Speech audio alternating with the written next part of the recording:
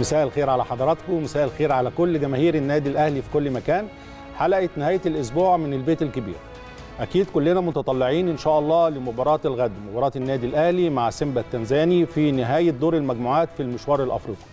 زي ما حضراتكم عارفين أكيد طبعا التأهل اتحسن بشكل كبير جدا لكن هناك أهداف كتيرة جدا للنادي الأهلي إن شاء الله كلها تتحقق بكرة. إن شاء الله نكسب بشكل كويس بأداء كويس. دي كمان الرسائل اللي بعتها كمان يمكن سامي قمصان مدرب الفريق إن ما فيش عند النادي الأهلي مباراة تحصيل حاصل. تحصيل حاصل دي مش موجودة في قاموس النادي الأهلي. كل مباراة ليها أهدافها إن شاء الله هنطمن على فرقتنا من خلال حلقتنا النهارده. كل اللي يخص فرقتنا استعدادات النهارده راحوا معسكر استعداد للمباراة. كل التفاصيل ديت حتى على الشكل الفني. هل موسيماني هيلعب بنفس التشكيل؟ هل في وجوه جديدة هتخش التشكيل؟ فريق سيمبا التنزاني كمان وتفوقه يعني بجدارة في دور المجموعات كمان هنشرحه بشكل مفصل. النهارده إن شاء الله تكون حلقة مميزة كالعادة في البيت الكبير لكن طبعا في الأول بنرحب بزميلتي سهام مساء الخير عليك يا سهام مساء الخير يا كابتن هاني جمهور النادي الأهلي العظيم في كل مكان مساء الخير. وحلقة جديدة من حلقات البيت الكبير حلقة نهاية الأسبوع. البيت اللي بيجمعنا كلنا. مفيش شك طبعا إن إحنا النهارده مترقبين الماتش أمام سيمبا غدا إن شاء الله. بتفصلنا عنه ساعات قليلة جدا. ما بين ان انت النهارده دي مباراة تحصيل حاصل وما بين إنها مباراة مهمة جدا من حيث أداء اللعيبة علشان الكل بيترقب البطل بطل القرن الأفريقي. أداؤه بكرة هيكون عامل إزاي؟ والمنتظر إنه يقابل أحد الأندية القوية جدا في ربع النهائي أو دور الثمانية. ده اللي هنتكلم فيه. يمكن ده محور حديثنا في اللي جاي أو فقراتنا الحوارية بمعنى أصح. بكرة المباراة على ملعب الأهلي والسلام هيكون في يعني أول مرة هنشوف في الأهلي والسلام صورة جميلة جدا صورة الحقيقة يعني جدية تليق ببطل القرن الأفريقي زي ما أعلنت شركة استادات الوطنية وكنا بنغطي الحدث ده معاكم. كشفت عن الشكل الجديد للاستاد وإحنا عرضنا هنا الصور الأولى ليها. وإن شاء الله يكون فتحة خير على فريقنا فريق النادي الأهلي. والأهلي يدشنه بكرة. بإذنك يا رب بانتصار كبير وأداء رائع يسعد كالعادة كل جماهيره. زي ما قال الكابتن هاني في الفقرة الأولى هنعرف طبعا من خلال الأخبار اللي معانا إيه آخر استعدادات فرقتنا آخر الأخبار الرياضية سواء على الساحة المحلية أو العالمية. كمان النهارده في أحداث ومباريات ساخنة جدا. بعد كده يعني في فقرة حوارية أولى مع ناقد الرياضي كريم سعيد علشان نستعرض معاه اللي بيدور على الساحة الرياضية. هو من وجهة نظره هل المباراة دي فعلا تحصيل حاصل ولا يجب علينا أن نؤدي أداء حسنا علشان يعني يكون النظار لأي منافس قادم هيلاقي الأهلي؟ ده اللي إحنا نتكلم فيه كابتن هاني وضيفه كريم سعيد في الفقرة الأولى. في الفقرة الثانية معانا نجم النادي الأهلي وطبعا اللاعب السابق وحارس المرمى الكبير السابق اللي مسؤول حاليا عن أكاديمية النادي الأهلي في الشيخ زايد كابتن أمير عبد الحميد. وكلام كتير مع كابتن أمير الحقيقة برضو حوالين مباراة الغد. أكيد مباراة أكيد مهمة. ما تنسوش سؤال حلقتنا النهارده في البيت الكبير هنعرضه دلوقتي حالا على الشاشة بخصوص مباراة الأهلي وسيمبا بكرة إن شاء الله. وهو هو سؤال بسيط الحقيقة تتوقع إيه الأهداف أو إيه النتيجة تخرج بإيه ومين اللي هيحرز الأهداف؟ نتيجة المباراة ومن سيحرزها. ده هننتظر طبعا إجابات حضراتكم سواء على فيسبوك تويتر إنستجرام وده هنعرضه مع حضراتكم في آخر فقرة مع كابتن أمير إن شاء الله. إن شاء الله بإذن الله. يعني منتظرين طبعا حضراتكم وتوقعاتكم. إن شاء الله فوز النادي الأهلي وكمان مين اللي يحرز أو مين الأقرب لإحراز أهداف النادي الأهلي بكرة إن شاء الله في مباراة سيمبا التنزاني. طيب يمكن في الفترة اللي فاتت كان في شوية جدل في الأيام الأخيرة أو الأسابيع الأخيرة بمناسبة مباراة القمة ما بين النادي الأهلي ونادي الزمالك يوم 18 إن شاء الله. حضراتكم عارفين من يمكن من من يعني سنين طويلة جدا النادي الأهلي ونادي الزمالك بيكون الحكام حكام دولية أوروبية من على المستوى الأوروبي يمكن اتحاد الكرة في الأيام اللي فاتت كده زي ما بقول لحضراتكم يمكن طلع يعني شوية فرقعة كده. بيقول لأ إحنا عندنا مشكلة في استخدام بعض الحكام الأجانب علشان فيروس كورونا. وبدأ بالفعل يعني يطلع بعض أسماء الحكام المصريين المرشحين لإدارة مباراة النادي الأهلي والزمالك. لكن عايز أقول لحضراتكم إن يمكن النادي النهارده نادي الزمالك قدم يعني بيقول لأ إحنا إحنا متمسكين إن يكون المباراة فيها حكام أجانب. كذلك كمان النادي الأهلي لأن اتحاد الكورة قال لا النادي الأهلي موافق. لا النادي الأهلي مش موافق.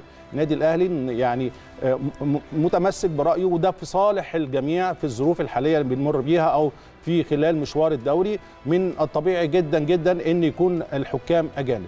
النهارده كمان كابتن محمود الخطيب رئيس نادي كان آه، يعني آه، بيقدر أكيد بي آه، يعني بيعبر عن تقديره الكبير للتحكيم المصري والحكم المصري وكمان بيأكد إن المطالبة بإسناد مباراة القمة إن شاء الله يوم 18 اللي جاي لحكام أجانب. ده لا يعني ابدا التقليل من شأن الحكم المصري بالعكس كلنا سبورت للحكام المصريين وكلنا دايما وراء الحكام المصريين. لكن كمان عايز أقول لحضراتكم إن الكابتن محمود الخطيب لا يعني حتى في خلال يمكن وجوده في الاحتفالية اللي فاتت بمناسبة اليوم العالمي للرياض لنشر السلام. أعتقد كمان كان في لقاء مع السيد أحمد مجاهد وقال له إن إحنا متمسكين آه، برأينا إنه يكون يكون في حكام أجانب موجودين في مباراة النادي الأهلي والنادي الزمالك كالعادة. يعني كان اتحاد الكورة كمان خلي بالك يا سام إنه كان بيقول بيعين حكام لمباراة آه، آه، المباراة القادمة وكمان مباراة مباراة القمة الثانية اللي هتقام في إبريل. فاعتقادي الشخصي لا النادي الأهلي آه، كابتن محمود الخطيب بكل أمانة وبكل صراحة قال للأستاذ أحمد مجاهد لا إحنا بنحترم التحكيم المصري ولكن آه، عندك من الوقت الكافي إنك تبعت لحكام أجانب من الصف الأول من الدوريات الأوروبية الكبيرة علشان تحكم هذه المباراة. وفي اعتقادي الشخصي ده في صالح كمان الدوري في صالح الكرة المصرية دلوقتي. كلنا سبورت للحكام المصريين كلنا بندعم الحكام المصريين. لكن أنا بتكلم على موقف النادي الأهلي اللي كان صريح جدا إن الكابتن محمود الخطيب قال للسيد أحمد مجاهد إحنا متمسكين أو إحنا رافضين ال- التحكيم المصري دلوقتي لكن كل التقدير ليه لكن عايزين حكام أجانب يعني. ده ده اللي نصا يمكن كابتن محمود الخطيب قاله لما قال أنا التقيت بالمهندس أحمد مجاهد رئيس اتحاد الكورة من يومين في احتفالية طبعا. اليوم الدولي ال- للرياضة في من أجل السلام وده يمكن غطيناه هنا كمان مع حضراتكم ودي أقيمت أو كانت بحضور الدكتور أشرف صبحي وزير الرياضة. والحقيقة السيد أحمد مجاهد أبدى رغبته في منح الفرصة للتحكيم المصري في هذا اللقاء. فكان رد رئيس النادي كابتن محمود الخطيب واضح في هذا الشأن بأنه الفترة الحالية لا تحتمل ذلك. ولا بد من اختيار طاقم تحكيم أجنبي آه، في مباراة القمة تحديدا من طبعا التصنيف الأول على آه، المستوى أو مستوى العالم. لكن يمكن كمان هذا المحكم أو هذا التحكيم يعني هيكون صاحب أكيد خبرات دولية كبيرة ولا وإن في وقت الحقيقة وإنه آه، كاف عش يعني اتحاد الكورة يقوم بمخاطبة الاتحادات الأوروبية في آه، هذا صحيح. ال- الشأن ده ده ده اللي اتقال إن في وقت كافي وإن النادي الأهلي بيطلب حكام أجانب وتاني بنقرر إن الكابتن محمود كمان قال إن كل التقدير لحكامنا المصريين ودايما سبورت لكن فعلا الوقت مش مناسب دلوقتي وده مش يعني أنا كمان ليا أصدقاء كتير على مستوى نادي الزمالك كلهم أصدقاء وكلهم كانوا بيتكلموا في نفس المنطق إن إحنا يعني مش في الوقت دوت آه، ال- ال- الأفضل وجود حكام أجانب وده آه، مطلب النادي الأهلي وأكيد أعتقد كمان مطلب نادي الزمالك. طيب آه، نروح لأجواء فرقتنا النهارده. زي ما بقول لحضراتكم استعدادات النهارده كانت النهارده كان في النهارده الصبح كان في مب... كان في تق- تقسيمة أو تمرين للنادي الأهلي. حضراتكم عارفين إن دايما قبل المباراة بيوم بيكون في تمرين وبعدين بننتقل إلى المعسكر. النهارده ان إن شاء الله بإذن الله الفريق بيروح معسكره وإن شاء الله بكرة مباراة كبيرة جدا. في اعتقاد الشخصي ليها أهداف كبيرة زي ما الكابتن سي... آه، سيد عبد الحفيظ قال والكابتن سامي. قمصان قال وكمان موسيماني قال إن المباراة إن شاء الله ليها أهداف خاصة. آه، مباراة الأهلي وسيمبا الحقيقة هاخدك هاخدك لجزئية خاصة وجزئية مختلفة شوية عن الفنيات. حضراتكم فاكرين طبعا إن النادي الأهلي دايما هو آه، السباق ودايما في فرق أفريقية كتير جدا جدا بتيجي وتستفيد من النادي الأهلي. آه، إن النادي الأهلي في الفترات ويمكن في علم علم يعني سؤال كده بيطرح سيمبا هذا التفوق في دور المجموعات كان سببه إيه؟ أعتقد سببه إن هم خط... آه، وضعوا خطة طويلة الأجل خطة مستقبلية لناديهم. أعتقد بدأوا يجنوا هذه الثمار دلوقتي وكان من هذه الخطة كمان زيارة النادي الأهلي. حضراتكم عارفين يمكن من سبع شهور تقريبا كان في وفد من سيمبا التنزاني متواجد في النادي الأهلي لنقل الخبرات الكبيرة اللي وصل ليها النادي الأهلي نجاحات كتيرة جدا وبيحاول يعني يوصل لما وصل ليه النادي الأهلي. يعني النادي الأهلي نادي كبير أكبر الانديه الأفريقية رمز للكرة الأفريقية بشكل كبير جدا. آه، وكان آه، طبعا بيمثل البعثة ديت على رأسها. طبعا كان رئيس النادي والنادي الأهلي كمان كان عايز أقول لحضراتكم استقبل هذا الوفد ب كالعادة بالترحيب وابدى استعداده كمان لتقديم الخدمات على مستوى الكوادر على مستوى الإدارة على المستوى الفني. فعايز أقول لحضراتكم من جزء آخر إن كمان سيمبا التنزاني أعتقد كان عامل يعني مشوار على مشوار خمس سنين أو رحلة خمس سنين للوصول لما وصل ليه النادي الأهلي وهو في الطريق لده سهام إن وجوده في النادي الأهلي خلال السبع شهور اللي فاتوا أعتقد اداله اداله خبرات واداله يمكن سكة يمشي فيها عشان يوصل لمستويات عليه اللي إحنا بنشوفها دلوقتي. يمكن سيمبا اعتقد ان هو يمكن الحصان الأسود في دور صحيح. المجموعات على المستوى اللعب على المستوى الفني مفاجأة. على كمان مم. المستوى الاقتصادي. اعتقد كمان هم ماشيين بشكل أكتر من رائع. عايز بس بقى كنت بفكر الناس ان هم جم للنادي الأهلي من سبع شهور وحاولوا ان شاء الله وبيحاولوا يمشوا في نفس طريق النادي الأهلي. ده حقيقة طبعا. زي ما الكابتن هاني بيقول يمكن النهارده في تطور كبير جدا في مستوى نادي سامبا اللي بالمناسبة تم تحويله لشركة مساهمة من ثلاث سنين وده كان له الحقيقة تأثيره على تطوره تطور هذا النادي. يمكن كان كابتن محمود الخطيب زي ما كابتن هاني بيقول كان بيستقبل هذا الوفد من نادي سامبا في شهر سبتمبر اللي فات تحديدا وكان ده في مقر النادي في التتش. وكان الحقيقة يعني كان على رأس الوفد ده باربرا جونزاليز الرئيس التنفيذي للنادي مالومو أريك ده عضو مجلس إدارة سامبا.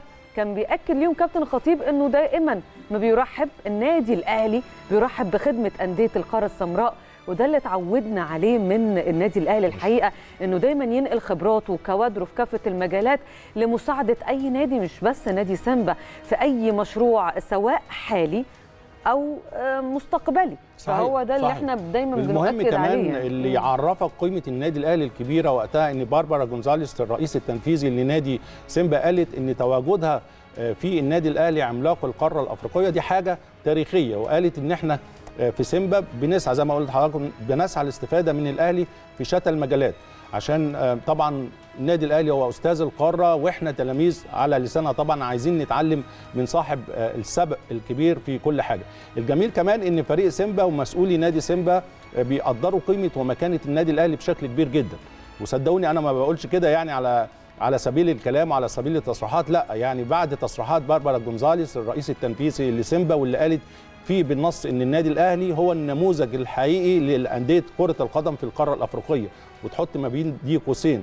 ليس فقط على داخل الملعب يعني هي بتتكلم على النجاحات داخل الملعب لأ كمان خارج الملعب. يعني يعني على مستوى الإدارة على مستوى على مستوى الأداء الفني هي قالت إن إحنا هنا في القاهرة بنستمتع طبعا بالتجهيزات والملاعب ومقومات النادي المختلفة. زي ما بقول لحضراتكم كانت إشادة أعتقد إشادة في محلها.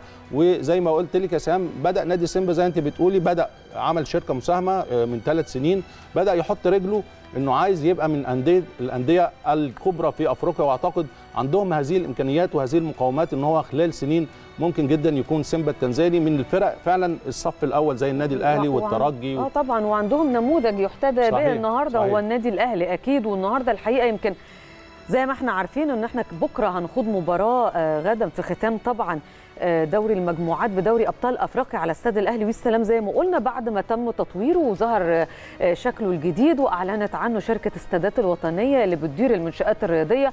كلنا شفنا قد إيه الملعب ظهر بشكل أكتر من رائع. إحنا بنتكلم في أقل من سنة على تسلمه من شركة استادات الوطنية اللي النهارده بتتولى ملف الوحدة الاقتصادية للنادي الأهلي. طبعا الشكل الجديد زي ما إحنا قلنا مش مجرد شكل ومش مجرد استاد. في يعني كلام معبر طالع من جمهور النادي الأهلي هو.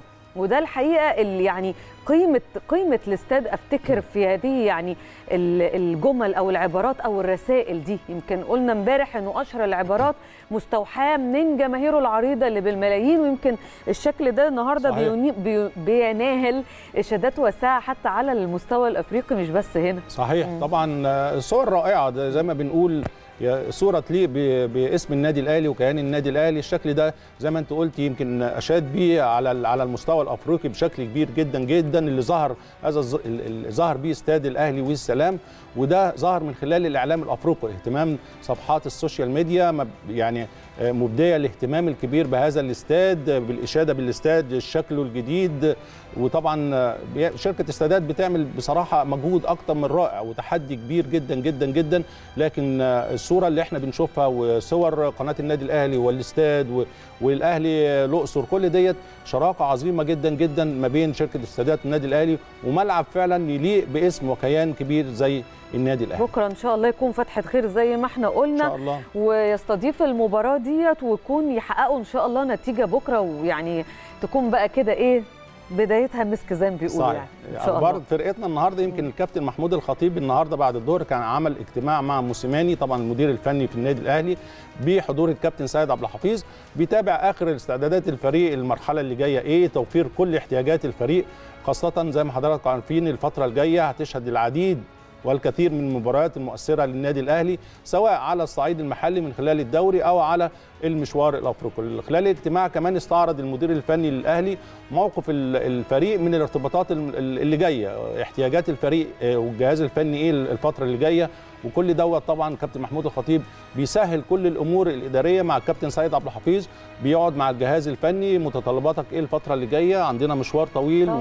ومباريات كتيرة كل الأمور ديت كلها التعاون على الشكل الفني والشكل الإداري من خلال الكابتن محمود الخطيب المسؤول الأول عن ملف كرة القدم مع الكابتن سيد عبد الحفيظ مدير الكورة كمان مع المدير الفني علشان نعرف الخطوات اللي جاية إيه احتياجات الفريق الفترة اللي جاية إنها فعلا فترة أعتقد فترة صعبة ولكن النادي الأهلي قادر بإذن الله إنه يعدي هذه الفترة إن شاء الله, إن شاء الله. الله. النهارده كوتش موسيماني المدير الفني للفريق الأول لكرة القدم في النادي الأهلي بيعلن قائمة الفريق لمواجهة سيمبا بكرة بكرة الماتش الساعة 9 بالليل بإذن الله على استاد الأهلي والسلام. عايزه أقول لكم القائمه كده سريعا. طبعا استمر أو بيستمر غياب كهربا.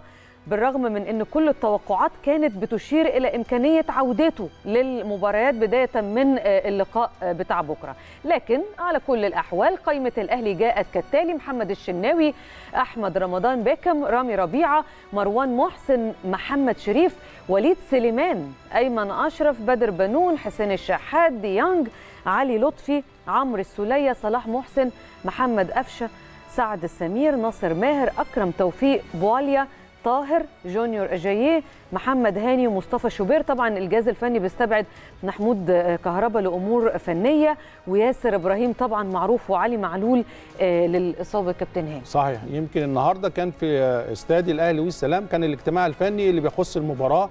بشكل كبير جدا شكل المباراة على المستوى الإداري ملابس الفريقين وصول اللعيبة إمتى. معانا طبعا زميلنا محمد توفيق كان هناك في استاد وسلام كان حاضر هذا الاجتماع بشكل كبير جدا. معانا دلوقتي في قناة النادي الأهلي بنرحب بيك يا محمد وبنقول لك أجواء المؤتمر. المؤتمر كان عامل إزاي؟ المؤتمر الفني. قول لنا تفاصيل وكواليس مباراه المباراة من خلال الاجتماع النهارده. مساء الخير كابتن هاني تحياتي ليك وللزميله سهام صالح ولكل مشاهدي ومتابعي البيت الكبير في كل مكان. بالفعل أنا متواجد داخل الاستاد الأهلي والسلام. وزي ما كنتوا بتتكلموا في البداية الاستاد يعني ظهر بشكل أكثر من رائع. إن شاء الله كل جمهور النادي الأهلي يتمكن من رؤية الاستاد وكمان يفرح بفوز النادي الأهلي إن شاء الله في أول مباراة على الاستاد بثوبه الجديد. يمكن في تمام الثامنة مساء انطلق المؤتمر الصحفي للمدير الفني للنادي الأهلي بيتسو موسيماني ومحمد الشناوي كابتن الفريق. اتكلم في البداية بيتسو موسيماني على المباراة قال عندنا بكرة مباراة مهمة جدا في نهاية مشوارنا في دور المجموعات. المباراة لا تعني الكثير في مشوار التأهل إحنا خلاص ضمننا التأهل. ولكن المباراة بنلعبها غدا من أجل نادينا ومن أجل جماهيرنا اللي دايما تطمح للفوز ولا شيء غيره. محمد الشناوي كمان اتكلم قال طبعا مباراة مهمة. خلاص حسابات الصعود وعدم الصعود انتهت إحنا صعدنا بالفعل ولكن المباراة هنلعبها برده من أجل جماهيرنا ونادينا ونعاهد الجماهير إن شاء الله إن إحنا نحقق نتيجة كبيرة بكرة أمام سيمبا التنزاني. خلال بقى يعني مستر موسيماني وإجاباته على الصحفيين اتسأل عن التشكيل اللي هيبدأ بيه المباراة غدا قال للأسف أنا هبدأ بكرة بتشكيل اضطراري. أنا كان نفسي ألعب يعني أريح عدد كبير من اللاعبين لكن أنا التشكيل اللي هلعب بيه بكرة مش هيبقى لراحه اللاعبين لا أنا مجبر على هذا التشكيل نظرا لعدد كبير جدا من الإصابات في صفوف الفريق. وكمان إن عندي بعض يعني الخطورة على خط الدفاع مش عايز أجازف بلاعبين في خط الدفاع وأشركهم. ده يأثر عليهم ويعمل إصابات طويلة في الفترة المقبلة. والفريق يعني داخل على منافسات قوية جدا خلال شهر إبريل ومايو سواء في الدوري المحلي أو كمان في دوري أبطال أفريقيا. كمان مستر بوسيماني يعني اتسأل عن التأهل في المركز الثاني. قال نصعد في المركز الثاني أو الأول ده مش فارق. طبعا إحنا النادي الأهلي وكنا نتمنى إن إحنا نصعد في المركز الأول لكن خلينا نبص للموضوع من منظور إيجابي. يمكن النادي الأهلي البطولة الأخي- الأخيرة الماضية اللي الاهلي يعني زي ما بنقول حامل لقبها. النادي الأهلي كان صعد آه، تاني المجموعة وتمكن من الوصول للمباراة النهائية والفوز بالبطولة والوصول لكأس العالم للأندية وحصد المركز الثالث كمان. قال كمان يمكن من تاريخ البطولة الماضية كل الفرق تقريبا اللي صعدت في المركز الأول خرجت من دور الثمانيه واللي كملت هي الفرق أصحاب المراكز الثانية في مجموعاتها. كمان اتكلم عن تجربته السابقة مع ميلودي سان داونز والفوز ببطولة 2016 دوري أبطال أفريقي. قال أنا كنت بره حسابات البطولة ولكن بخطأ إداري من الفريق المنافس وكان فيتا كلوب في هذا الوقت. تم استبعاده من البطولة وأنا صعدت مكانه وقدرت أوصل للمباراة النهائية وأفوز بالبطولة للمرة الأولى في تاريخ النادي. اتكلم قال طبعا إحنا النادي الأهلي ولما اتسأل عن تحب تقابل مين في دور الثمانيه قال إحنا النادي الأهلي ما يهمناش مين اللي هيقابلنا أنا ببص للموضوع بواقعية أي فريق هيقابلني أنا جاهز ليه. يمكن أه ما صعدناش في المركز الأول يمكن مش إحنا أفضل فريق في البطولة ولكن إحنا هنسعى ونشتغل ونجتهد علشان نحقق البطولة. ده حلمنا وده يعني حقنا بعد ما فزنا بالبطولة السابقة وحاملين لقبها إن إحنا نلعب على المركز الأول. اتكلم وقال كمان إن في نتائج النادي الأهلي أمام المنافسين الناس ذكرتهم بالاسم أمام الوداد إحنا طلعناه من دور قبل النهائي أمام سان داونز إحنا مطلعينه من دور الثمانيه ولو هنقابل الترجي فالنادي الأهلي اعتاد على الفوز على الترجي سواء في مصر أو كمان الفوز على الترجي في تونس. وده يمكن وضح بشكل كبير جدا في دوري المجموعات في بطولات سابقة وكمان نهائي بطولة 2012 وفوز النادي الأهلي باللقب من استاد رادس أمام الترجي التونسي. السأل كمان عن علي معلول ومدى غيابه ومدى موعد عودته. قال طبعا أنا غير مؤهل طبيا للإجابة على هذا السؤال ولكن فنيا أنا طبعا علي معلول لعيب مهم جدا ومفتقدينه منذ فترة طويلة من آخر مباراة أمام بايرن ميونخ كان شارك فيها وما استكملهاش ولكن ده مش مبرر أو عذر للفريق. الفريق لازم يلعب يعني بمجهوده كامل وغياب أي لاعب لا يؤثر على أداء الفريق وإحنا هن- هنشتغل ونلعب بجهد. وبجد في الفترة المقبلة عشان نحقق الهدف الرئيسي بتاعنا وهو الفوز. ولما اتسأل عن كمان يعني أصعب الفرق اللي يتمنى ما يقابلهاش قال إحنا اتفرجنا بالأمس على دوري أبطال افريقيا دوري أبطال أوروبا وشفنا الأداء الكورة ما فيهاش مقاييس الكورة بتدي للي بيدي ويبذل عرق ومجهود داخل أرض الملعب. كمان يعني اتسأل عن إن المباراة غدا سائريه أمام سيمبا قال كرة القدم لعبة تلعب للمتعة. فيهاش حاجة اسمها صقر. إحنا ما بنلعبش أي قدام أي فريق للصقر إحنا بنلعب فقط للفوز كعهد النادي الأهلي ورغبة جماهيره الدائمة. كمان محمد الشناوي كان تم توجيه السؤال ليه عن الأداء أمام المريخ ويعني بعض عدم الرضا من بعض الجماهير قال إحنا في الشوط الثاني اللاعبين كانوا على قد المسؤولية إحنا كنا مسافرين السودان لتحقيق هدف معين وهو الصعود وده كان هيتحقق بالفوز أو التعادل. يمكن كانت الظرو- الظروف مش مساعدة إن إحنا نقدم مباراة كبيرة لكن في الشوط الثاني الفريق رجع وقدم مباراة أكثر من رائعة بشكر عليها زمايلي وانتظرونا إن شاء الله في الأدوار التالية وتحقيق البطولة بإذن الله. عقب انتهاء المؤتمر الصحفي المستر موسيماني بدأ في الثامنة والنصف المؤتمر الصحفي لنادي سيمبا بحضور المدير الفني ديدي جوميز وكابتن الفريق كاجيري. يمكن جوميز اتكلم في البداية قال مباراة الغد مباراة صعبة جدا أمام النادي الأهلي واحد من أقوى الفرق في قارة أفريقيا. آه صعدنا وصعدنا أول مجموعة لكن إحنا جايين بنلعب بمنتهى التواضع أمام بطل أفريقيا وبنسعى إن إحنا نحافظ على سجلنا خالي من الهزائم. كمان كابتن الفريق كاجيري اتكلم وقال آه، طبعا بنقابل فريق قوي وأقوى فريق في أفريقيا هو النادي الأهلي ولكن إحنا كمان فريق قوي وقدم مردود جيد. هنعمل اللي علينا وهنلتزم بتعليمات المدرب وإحنا جايين عشان نتلافى الخسارة. يعني تم توجيه بعض الأسئلة لجوميز آه، كان أهمها طبعا المباراة الأولى أمام النادي الأهلي وتحقيق الفوز. أنا أنا بمتلك مجموعة كبيرة جدا من اللاعبين أنا عندي أكثر من جنسية في الفريق موجودة لاعبين رائعين أكثر من لعيب أكثر من 20 لعيب يعني بيلعبوا في منتخبات أنديتهم بيلعبوا على مستوى دولي. النادي الأهلي يمكن حققت الفوز عليه هناك لأن احترمت النادي الأهلي واديته قدره اللي يستحقه. أهم حاجة إنه كنت بلعب بأداء دفاعي ومنظومة دفاعية محكمة. إن نادي زي النادي الأهلي لما تيجي تقابله لازم تقابله بمنظومة دفاعية محكمة. ولما يعني تستحوذ على الكورة لازم تلعب بشكل جماعي زي ما عملت. وده قدر يخليني أحصل على الفوز. واخرج من غير ما استقبل اهداف امام النادي الاهلي وده اللي هشتغل عليه بكره وهلعب بالطريقة دي برضو قدام النادي الاهلي.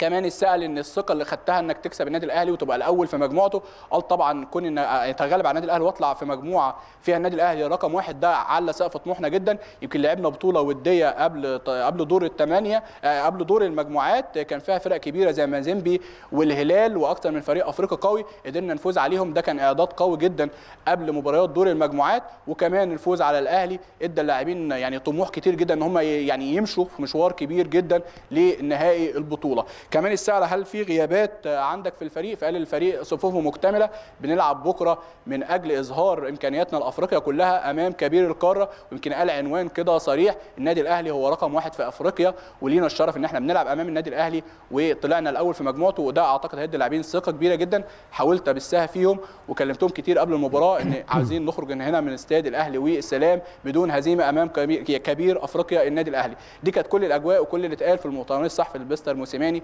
ومستر ديجو ميز كلمة كابتن هاني.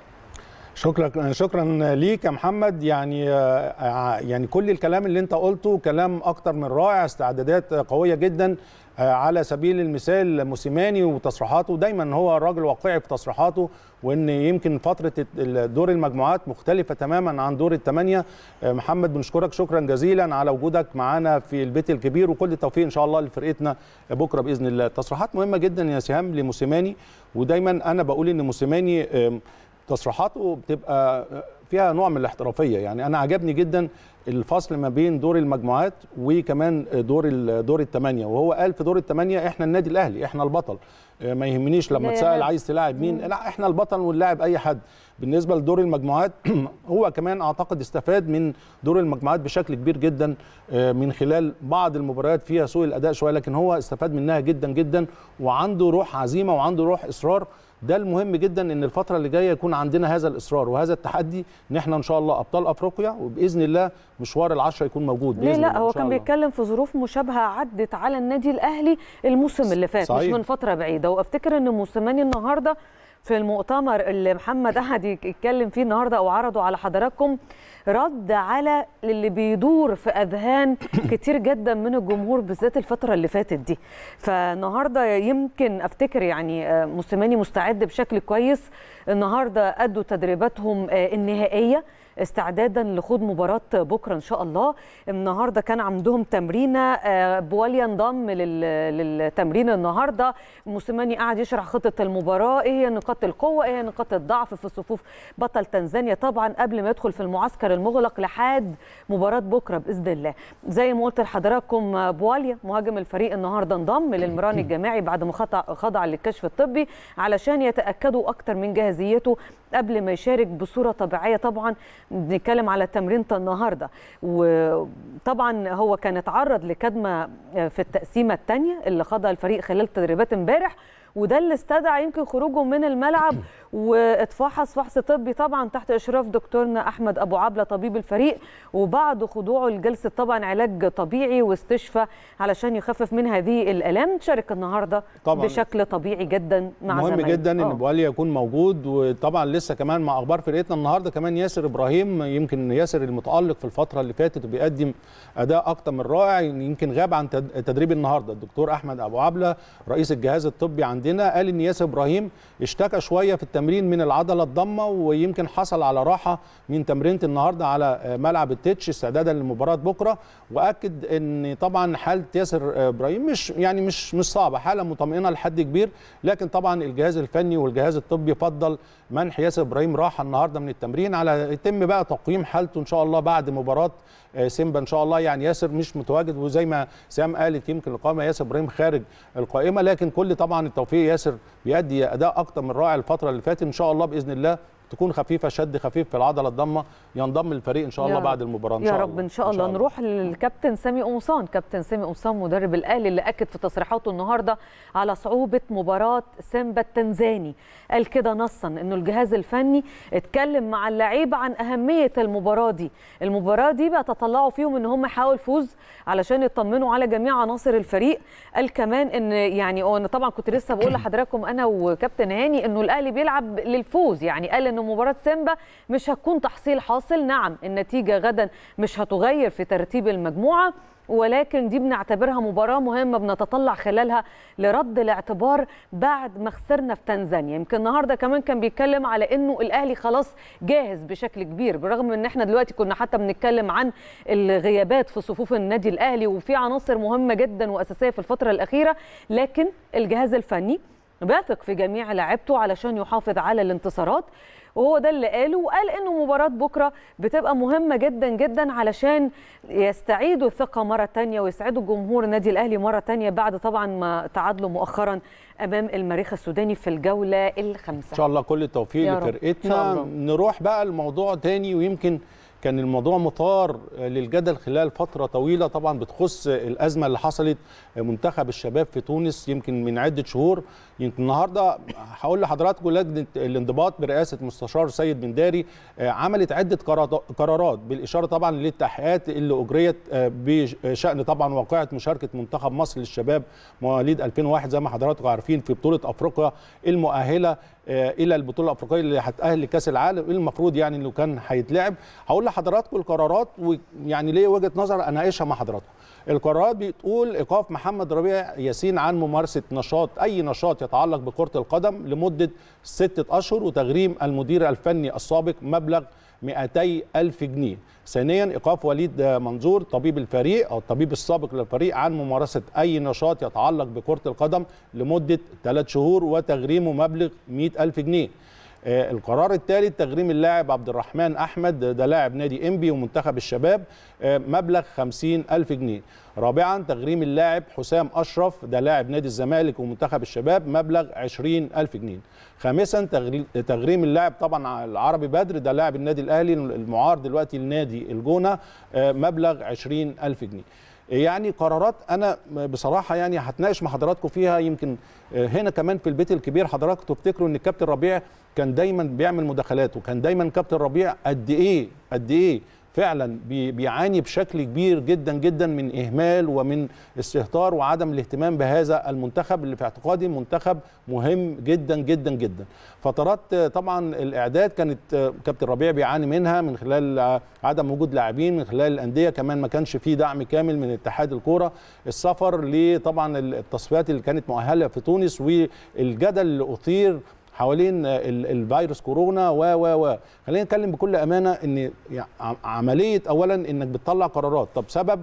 قول لنا سبب وقف الكابتن ربيع ياسين ست شهور عن ممارسة الرياضة بشكل عام. إيه؟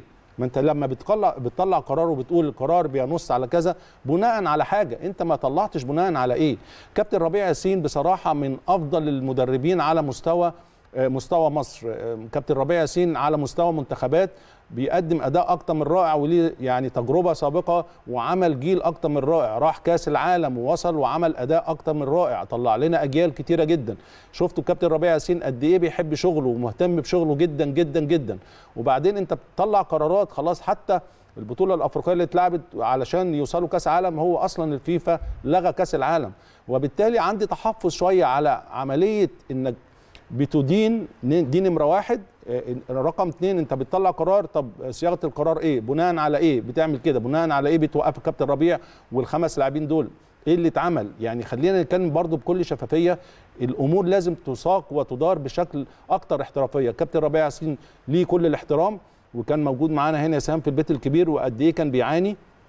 قرارات إنك بتحاكم أو بتحوله للتحقيق. طب بتحوله للتحقيق بناء على إيه؟ واحد اتنين تلاتة مش عارفين. أصدرت في حقه قرار. مش عارفين. طب بناء على إيه؟ أنت تحقيق مع الكابتن ربيع ياسين.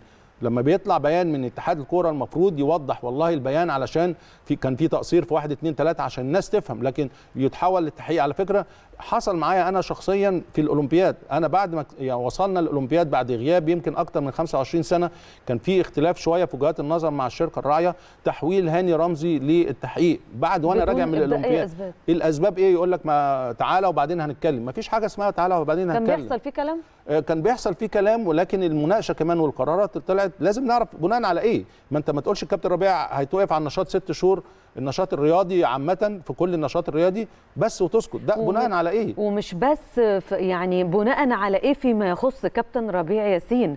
فيما يخص كمان اللعيبة. أنت عندك ثلاث لعيبة النهارده بيتغرموا كل واحد منهم 20000 جنيه منهم العربي بدر طبعا آه، لعيب النادي الأهلي المنتقل النهارده لصفوف آه، الجونة، بس آه. أنت النهارده يعني آه، انت تقصد ان انت لازم تفتح تحقيق تشوف إيه التقصير التقصير ده كان من اي نوع وبناء عليه تتخذ اجراءات الوقف أو الغرامة أو اي قرار انت شايف انه آه،. يعني بيستلزم اتخاذه كابتن ربيع ياسين بكل أمانة وكنا هنا في البيت. الكبير آه. كابتن ربيع ياسين قامة كبيرة جدا جدا لما يكون في خطأ في اعتقاد الشخص كمان احتراما لهذه الشخصية يكون آه تعالى كابتن ربيع هنقعد نتكلم إيه اللي حصل الموضوع إيه بيقدم تقرير خلينا نتكلم professional في تقرير بيتقدم من المدير الفني عن كل المرحلة اللي فاتت.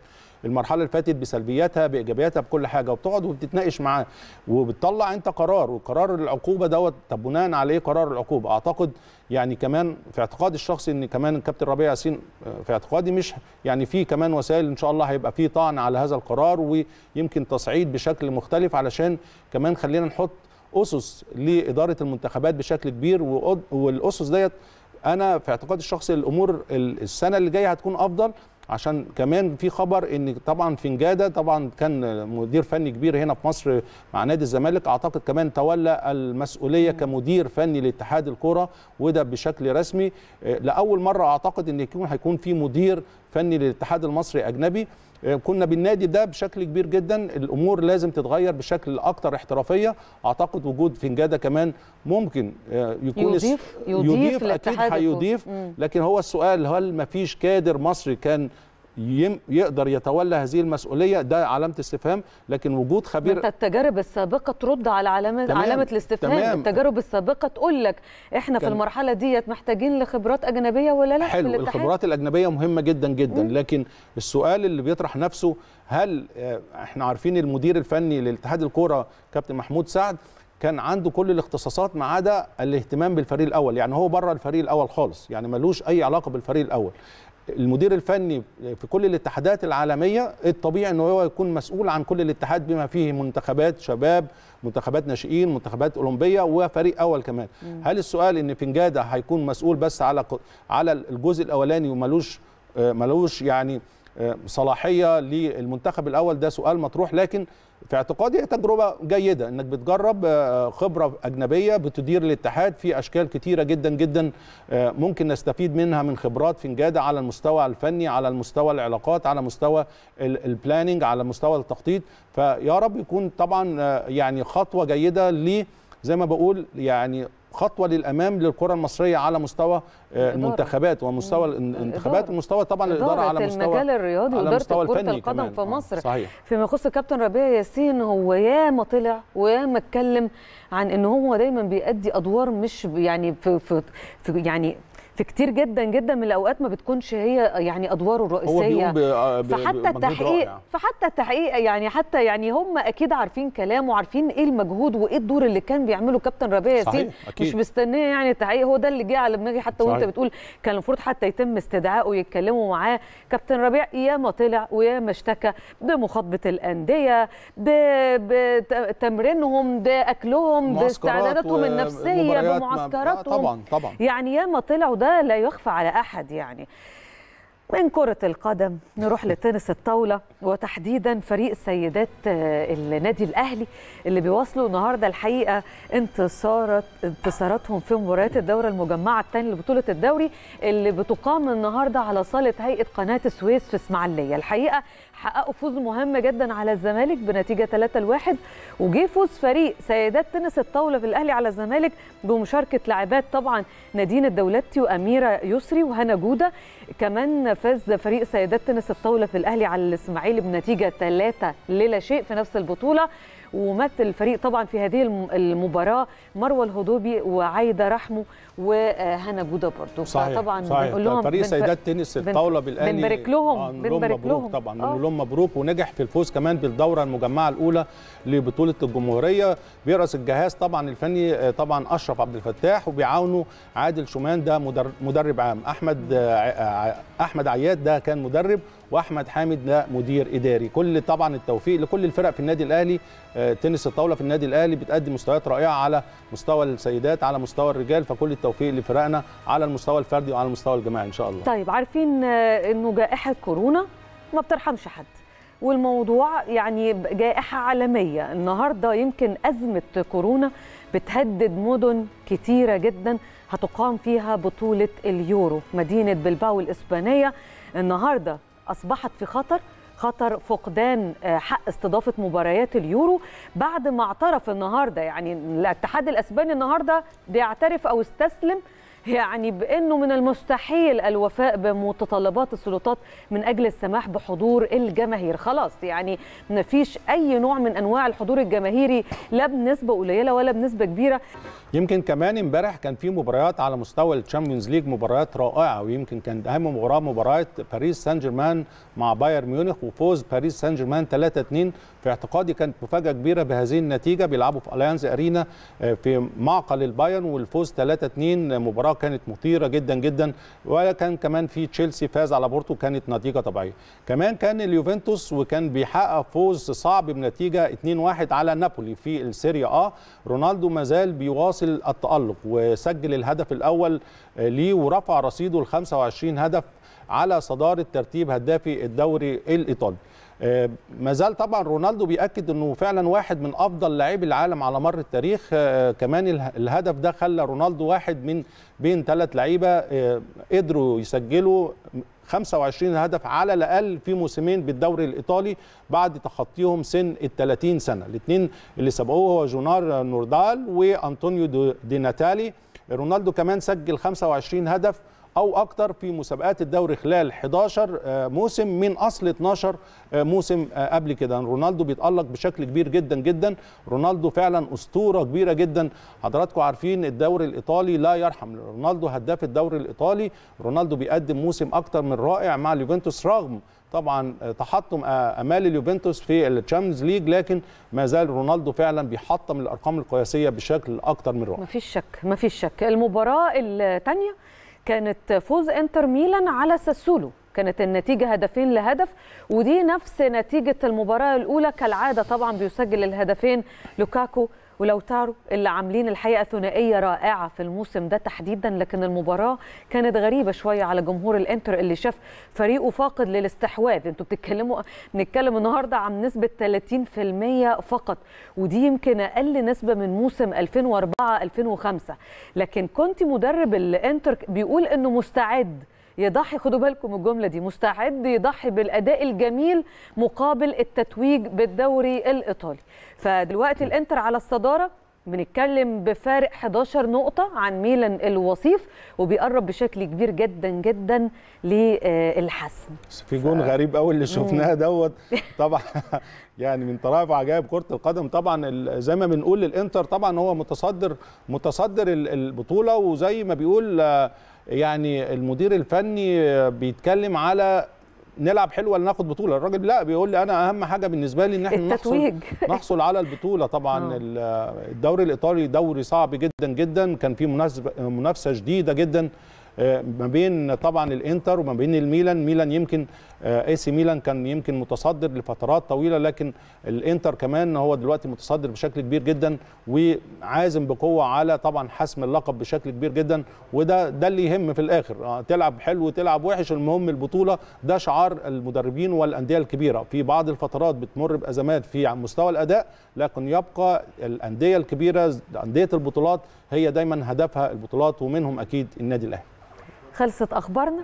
هنروح لفاصل بعد الفاصل نروح. يعني نرجع على أول فقراتنا الحوارية مع كابتن هاني رمزي وضيفنا المتميز كريم سعيد في البيت الكبير.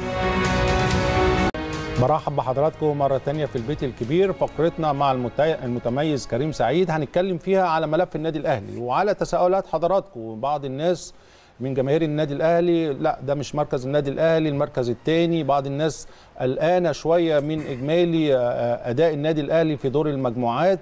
نتكلم كمان معاه على بعض تصريحات ديدي جوميز المدير الفني لفريق سيمبا موسيماني من خلال المؤتمر الصحفي النهارده.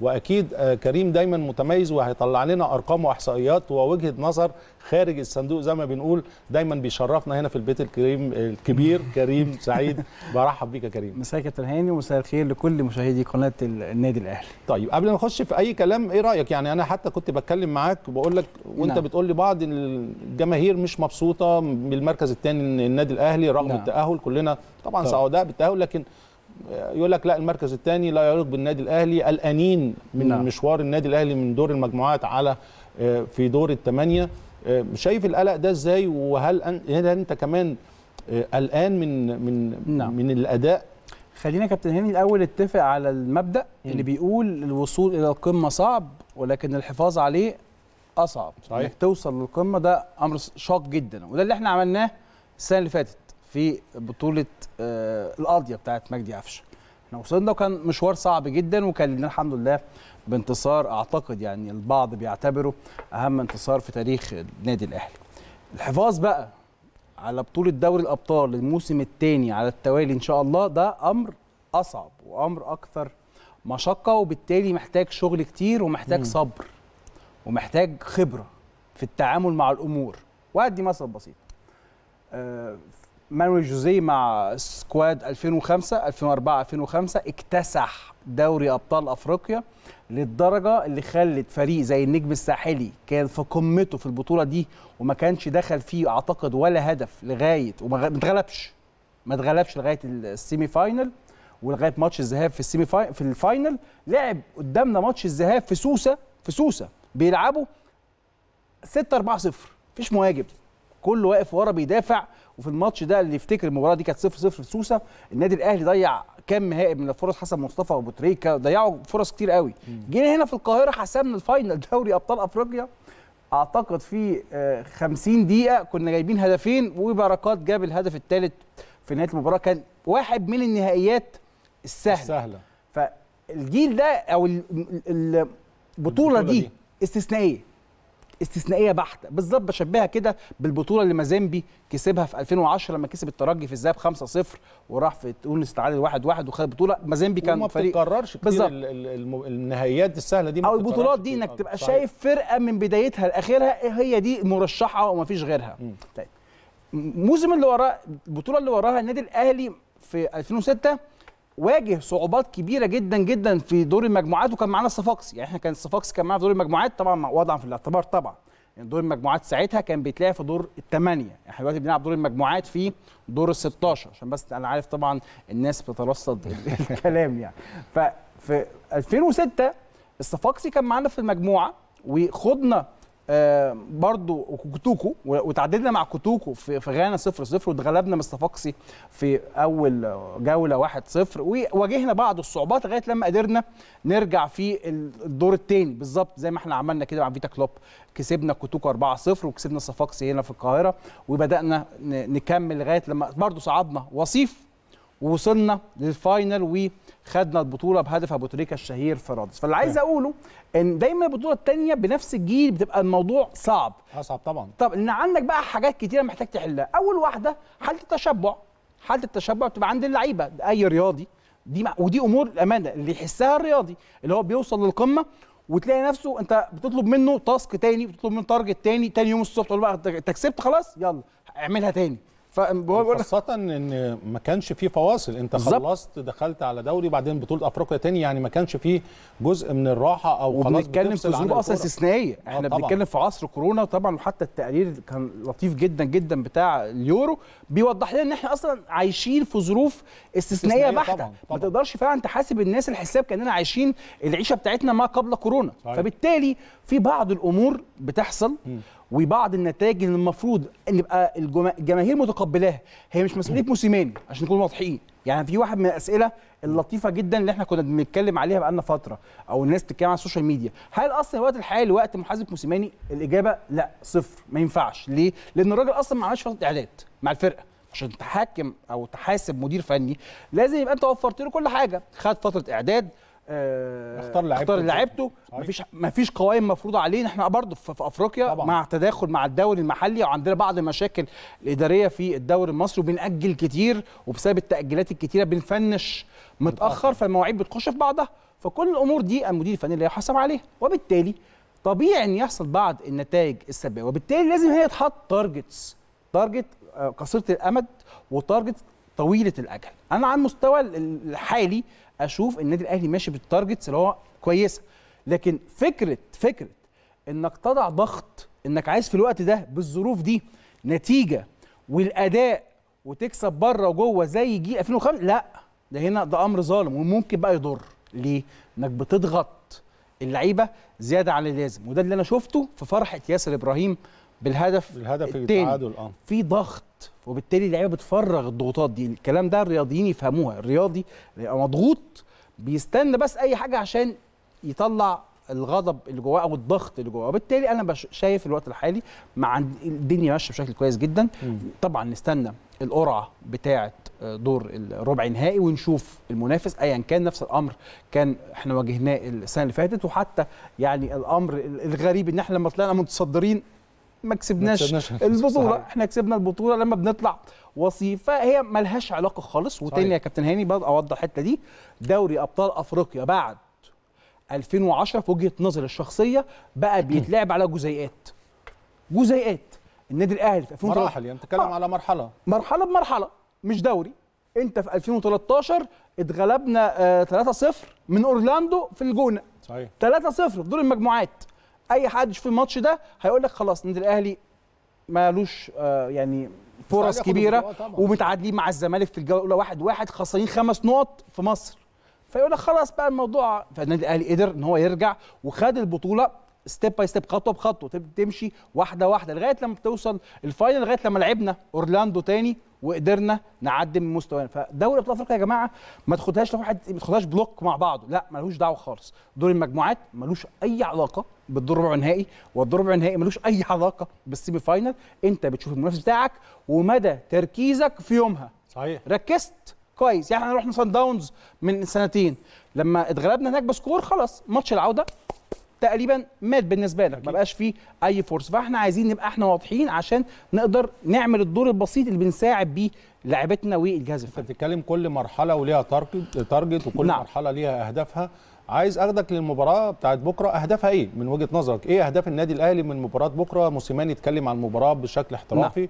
ديدي جوميز المدير طبعا. الفني كمان اتكلم إن هو ب... آه هو بالنسبة له كمان عايز يكسب عشان يأكد تفوقه في آه، في صدارة المجموعة. في في طموحات وفي أهداف مختلفة. أهداف النادي الأهلي إيه أو موسيماني بكرة في مباراة بكرة إيه؟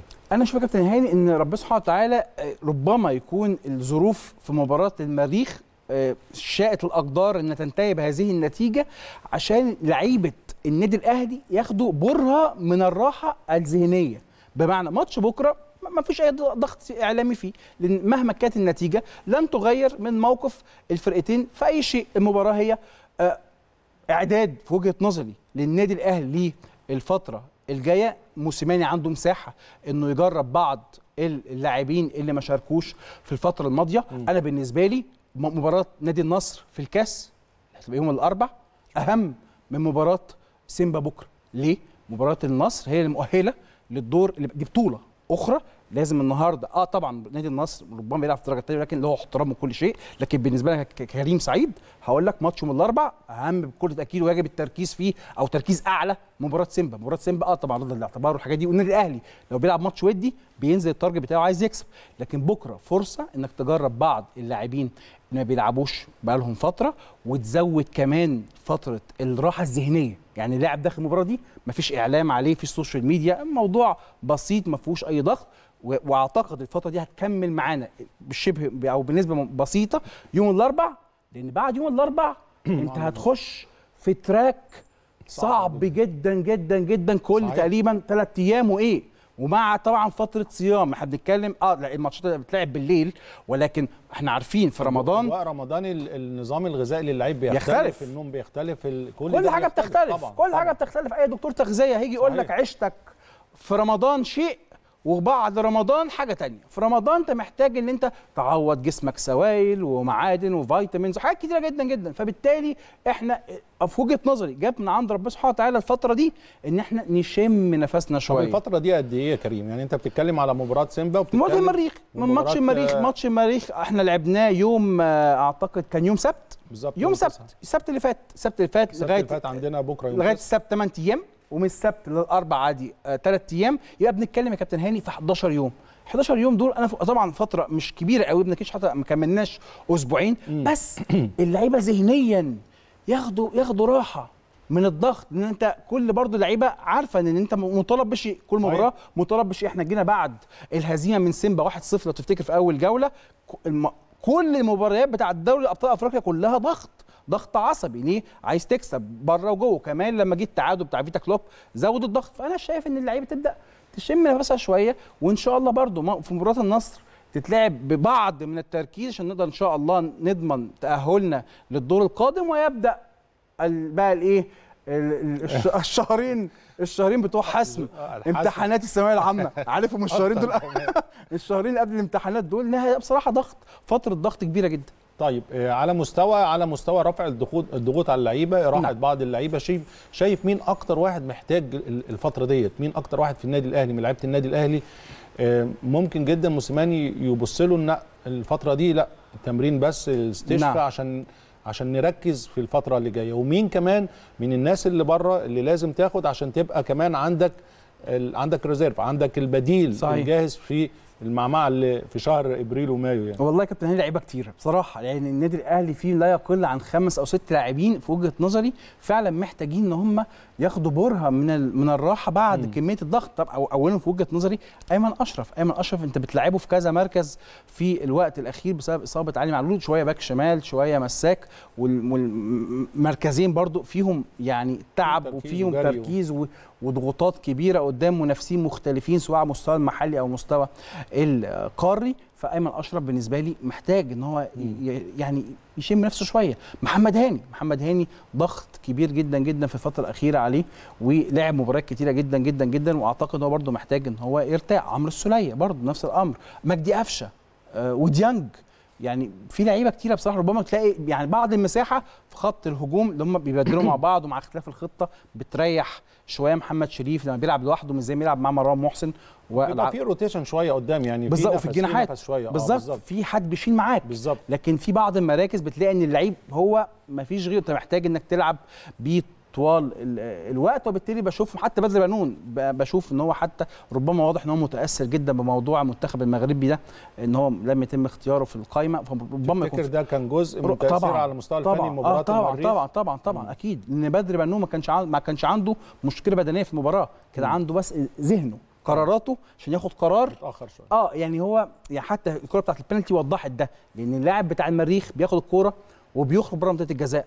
خلاص سيبه انت مش محتاج أصلا تاخد الكورة منه هو اوريدي مش عامل عليك خطورة فده بيوضح لك إن اللعيبة بعض اللعيبة عندهم آه، يعني إرهاق ذهني والبعض عنده إرهاق طب بدني. على الجانب الآخر أنت شايف مين من الضروري إن هو خلال الفترة دي يتجهز بمعنى أصح على المستوى طبعاً. الفني على المستوى طبعاً. البدني عشان يكون كمان سلاح موجود معانا في خلال الفترة اللي جاية أشوف طبعا اكرم توفيق أكرم آه وناصر ماهر فرصة حلوة آه، دي فرصة رائعة لناصر ماهر طبعا إن هو يخش يلعب ك playmaker خصوصا ناصر قبل الإصابة كان في. واحدة من أفضل من أفضل من أفضل فتراته صحيح. مع النادي الأهلي أو حتى مع المنتخب الأولمبي. وبالتالي أتمنى بصراحة ناصر ماهر تبقى دي فرصة لأن آه، وجود ناصر ماهر بقى في التشكيلة دلوقتي يا كابتن هاني في الفترة الأخيرة. إحنا دلوقتي بنتكلم على التلت التلت الأخير الأخير. من الموسم. آه أنت صحيح بت finish.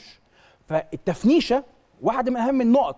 اللي انت محتاج فيها ان اللي يبقى معاك دكة قوية. وادي مثال.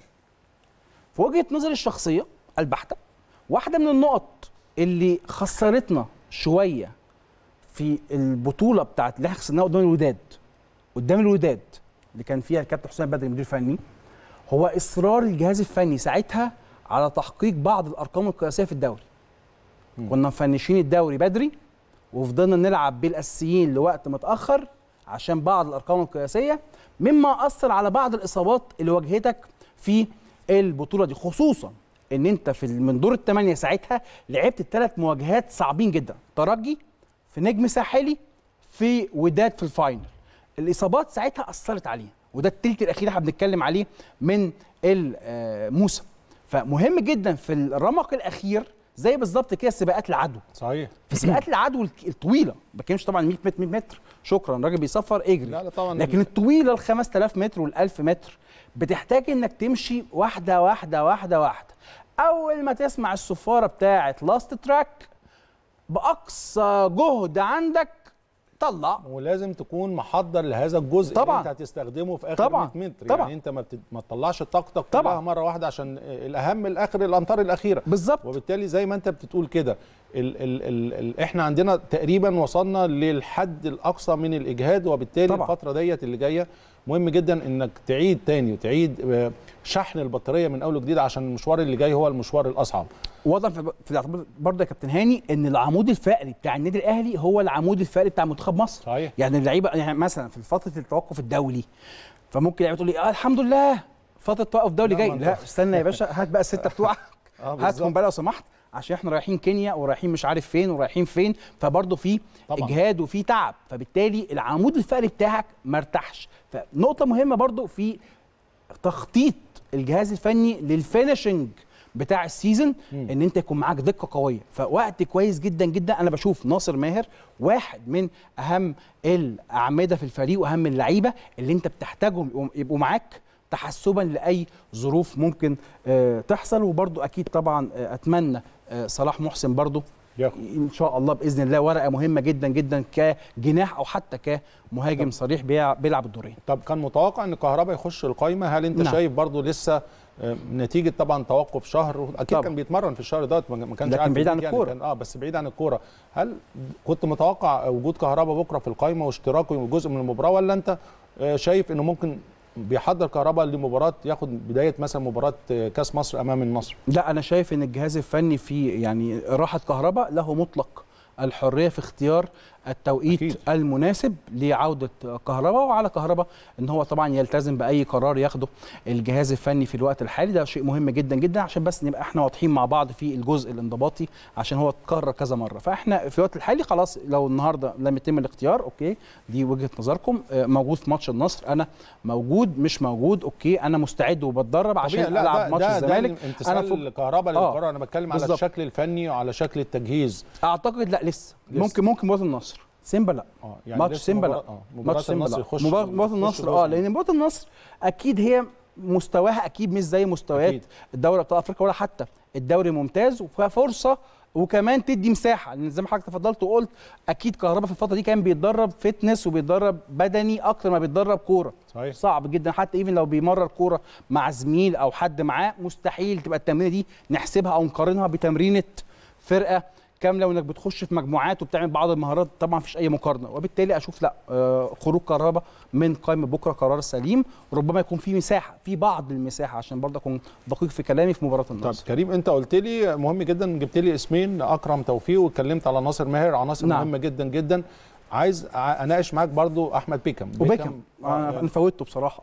أنا آسف؟ آه فوتته ما طبعا. تفوتش معايا حاجة. فوتت بيكم أنا آسف. لا تمام. يعني طبعا. أنا أتكلم على بيكم كمان طبعا. على أساس عندنا مشكلة في الباك الشمال أيمن طبعا غياب علي معلول محمود نعم. وحيد أيمن لسه م- موضوع الإجهاد أتكلم على بيكم وك- وكيفية توظيفه في الفترة اللي جاية وأتكلم على عودة وليد سليمان واشتراكه حتى في المباراه اللي فاتت ولو جزء صغير من المباراة شايف كمان نعم رجوع وليد سليمان يعني مفيد جدا مم. مفيد اتفضل. يعني هبدأ طبعا برمضان بيكم وأحمد رمضان بيكم.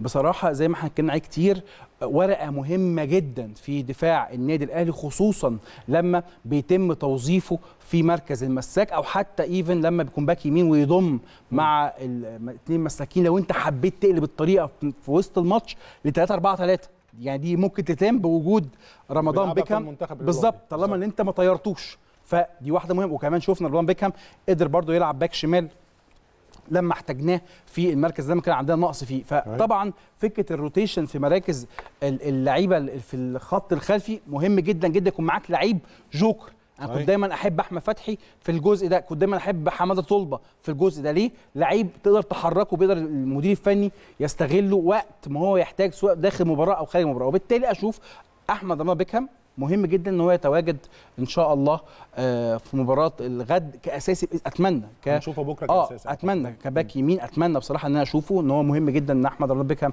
ياخد بعض المباريات ونشوفه على 90 دقيقة كمان عشان يبقى محافظ على حساسية المشاركة. دي مهمة جدا إن ربما لاعب بيتالق في التدريبات بشكل كبير ماتشات وديه بشكل كبير لكن الماتشات الرسمية كابتن طبعا حضرتك عارف. طبعا.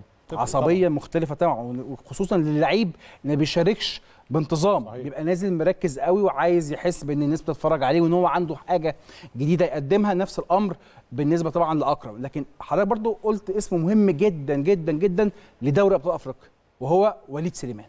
وليد سليمان لو نفتكر في الموسم اللي كان موجود فيه كارتيرون مدير فني للنادي الأهلي وليد سليمان في وجهة نظري الشخصية كان له الفضل الأكبر في وصول النادي الأهلي للمباراة النهائية بعد المجهودات اللي قدمها في ال semi final في في البطولة ساعتها وجاب لنا جون في الجزائر. كان جون مهم جدا. وليد سليمان هنا الخبره جزء الخبره ربما وليد سليمان ما يقدرش مثلا يديك 90 دقيقة بسبب. عامل السن ولكن في نقطة مهمة.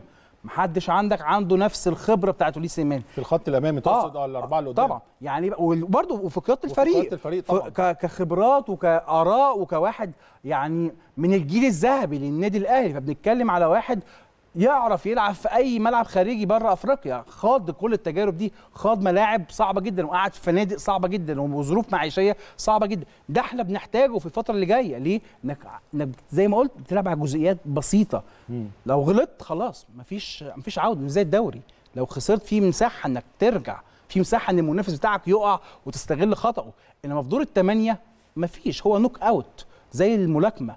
خدت القضية انتهى الموضوع. هتفرق معانا كريم إن إحنا عشان طلعنا تاني هنلعب مباراه الذهاب في القاهرة ومباراة العودة هناك ولا مع النادي الأهلي؟ الطبيعي إنها ما تفرقش يعني. ده أيام ما كان في جمهور ما كانش بتفرق. أيام ما كان في جمهور صحيح. ما كانتش بتفرق. ما بال حضرتك لما ما يكونش في جمهور أو حتى في ألف آه، متفرج يعني. لا لا طبعا أنا مش شايف في الوقت الحالي في أي آه، مشكلة في موضوع الاوي الأول أو الهوم الأول. وشايف بعيدا يعني شايفين في أوروبا الموضوع فعلا ما دام ما فيش جمهور فمش فارقة. ولا تلعب في ملعب كورة وانتهى الموضوع. صحيح. حتى وأنا أعتقد يعني الاتحاد الأفريقي لما قال إن هو مش هيسمح يعني بال- بالجماهير عشان الظروف بتاعه كورونا دلوقتي في العالم برضو رجع واضح إحنا بنرجع الأرقام بتزيد. رجعت تزيد للأسف يعني. بس نتمنى يعني نخش على الصيف ونخلص من الدايلاما دي. ولكن في ال... إحنا طبعا بنتكلم دور الربع النهائي يا كابتن هاني طبعا هيقام بداية من 15 مايو. يعني نص الشهر الجاي فبإذن الله تبقى الظروف أفضل. ولكن ما أعتقدش أي فريق هنلعبه إيه هيدخل كام يعني. ماكسيمم 5000 ما مع كامل احترامي لا يوازي. النادي الأهلي خلاص تعود يعني. أنا في رأيي حتى أنت كسبت الوداد هناك في, في الوداد خلاص كسبت بيدا كلاب هناك في, في لا أنا بتكلم كمان إحنا لعبنا ماتشات إحنا خدنا من. ترجي final في في- وسط صحيح. 40000 متفرج وخدنا final من الصفاقسي وسط 70000 متفرج. حتى إيه مع اختلاف اللاعبين ولكن الخبرات دي موجودة. فإحنا ما عندناش مشكلة نلعب مع جمهور وبس أقصى تقدير يوم ما هتلعب مع جمهور في الأدوار الجاية 5000 10000 مش هنشوف أعتقد اللي شفناه في ماتش سيمبا في الأول ده مش هيتكرر تاني طب نرجع لسيمبا نعم. وأنا في اعتقادي مفاجأة المجموعة أو يمكن طبعاً. مفاجاه مفاجأة دو- دور المجموعات كلها نعم. إيه سر تفوق سيمبا هل على المستوى ال- على المستوى الفني على المستوى البدني على المستوى الاستثماري في planning موضوع للنادي فالناس عندها يعني عندها نشوة إيه، أنت شايف آه، سيمبا إزاي على المستوى الفني هاخد من كلام آه، باربرا جونزاليس المدير التنفيذي لنادي سيمبا واعتقد بقت وجه يعني مألوف لينا في الفترة الأخيرة في الأخبار. وكان عندها حوار مع آه، أحد وسائل الإعلام الأفريقية الشهيرة يعني وحوار فعلا يعرفنا ليه سيمبا تطور من الفرقة اللي إحنا كسبناها هنا في برج العرب. 5-0 آه ما كسبونا ساعتها هناك بس إحنا كسبناهم هناك 5-0 وفيتا كلوب كانوا معانا في نفس المجموعة برضه. وكسبوهم 5-0 رغم طبعا سيمبا ساعتها finish تاني ورا النادي الأهلي فرق نقطة عن فيتا كلوب. وما بين الفريق اللي قدر السنة دي يروح يكسب فيتا كلوب في آه، ويحصد كن- 13 و- نقطة ويكسبوا أربعة في آه، تنزانيا. ويأملوا إن هم طبعا لا قدر الله يحققوا النتيجة إيجابية قدامنا بكرة. إيه السبب؟ بقى ببساطة الناس قعدوا. يعني باربرا بتتكلم وبتقول إحنا شفنا مستوى فرقتنا في الفترة ال- ال- اللي حصل في موسم 2017 2018 وقيمنا الأمور. وأول حاجة عمل أول قرار خدوه يا كابتن هاني أول قرار جابوا فريق تحليل بالفيديو. للفرق Analyze. آه analyzers للفريق وللمنافسين. قبل ما يفكروا في المدير الفني. آه دي الخطوة الأولى قبل المدير. الفني. الخطوة الأولى يقيموا فريقهم جابوا الأول، آه. فريق عمل تحليل بالفيديو للمنافسين وللفريق نفسه. عشان يعرفوا آه، مواطن الضعف والقوة عند عند الفريق نفسه وعند المنافسين. طبعا قرارهم لما جابوا ديديه جوميز في شهر يناير آه، الماضي يعني ديديه جوميز كان ماسك المريخ صحيح. بس كان عنده مشكلة في في الراتب الشهري. كان عنده مشكلة في الفلوس وسابهم. وكانت القرعة اتعملت. واتعرف إن المريخ مع سيمبا. ساب المريخ وراح سيمبا. ديديه جوميز لما راح ولقى إن في الظروف المحيطة بيه في الفريق تساعده إنه يعمل شغل أفضل من اللي كان عامله مع المريخ. مش عايزين ننسى ديديه جوميز كمان كان ماسك نادي الاسماعيلي صحيح. مسك نادي الاسماعيلي هنا في مصر. طبعا طبعا. بس ما يعني ما عملش ما اسم عملش اسم كبير. مع. الإسماعيلي لأن برضو المشكلة قد تكون مش عند المدير الفني. الظروف الظروف. المتاحة ليا مش مخلياني أقدر أشتغل. فأنا بشوف إن القرار اللي خدته إدارة نادي سيمبا بتبين إدارة محترفة.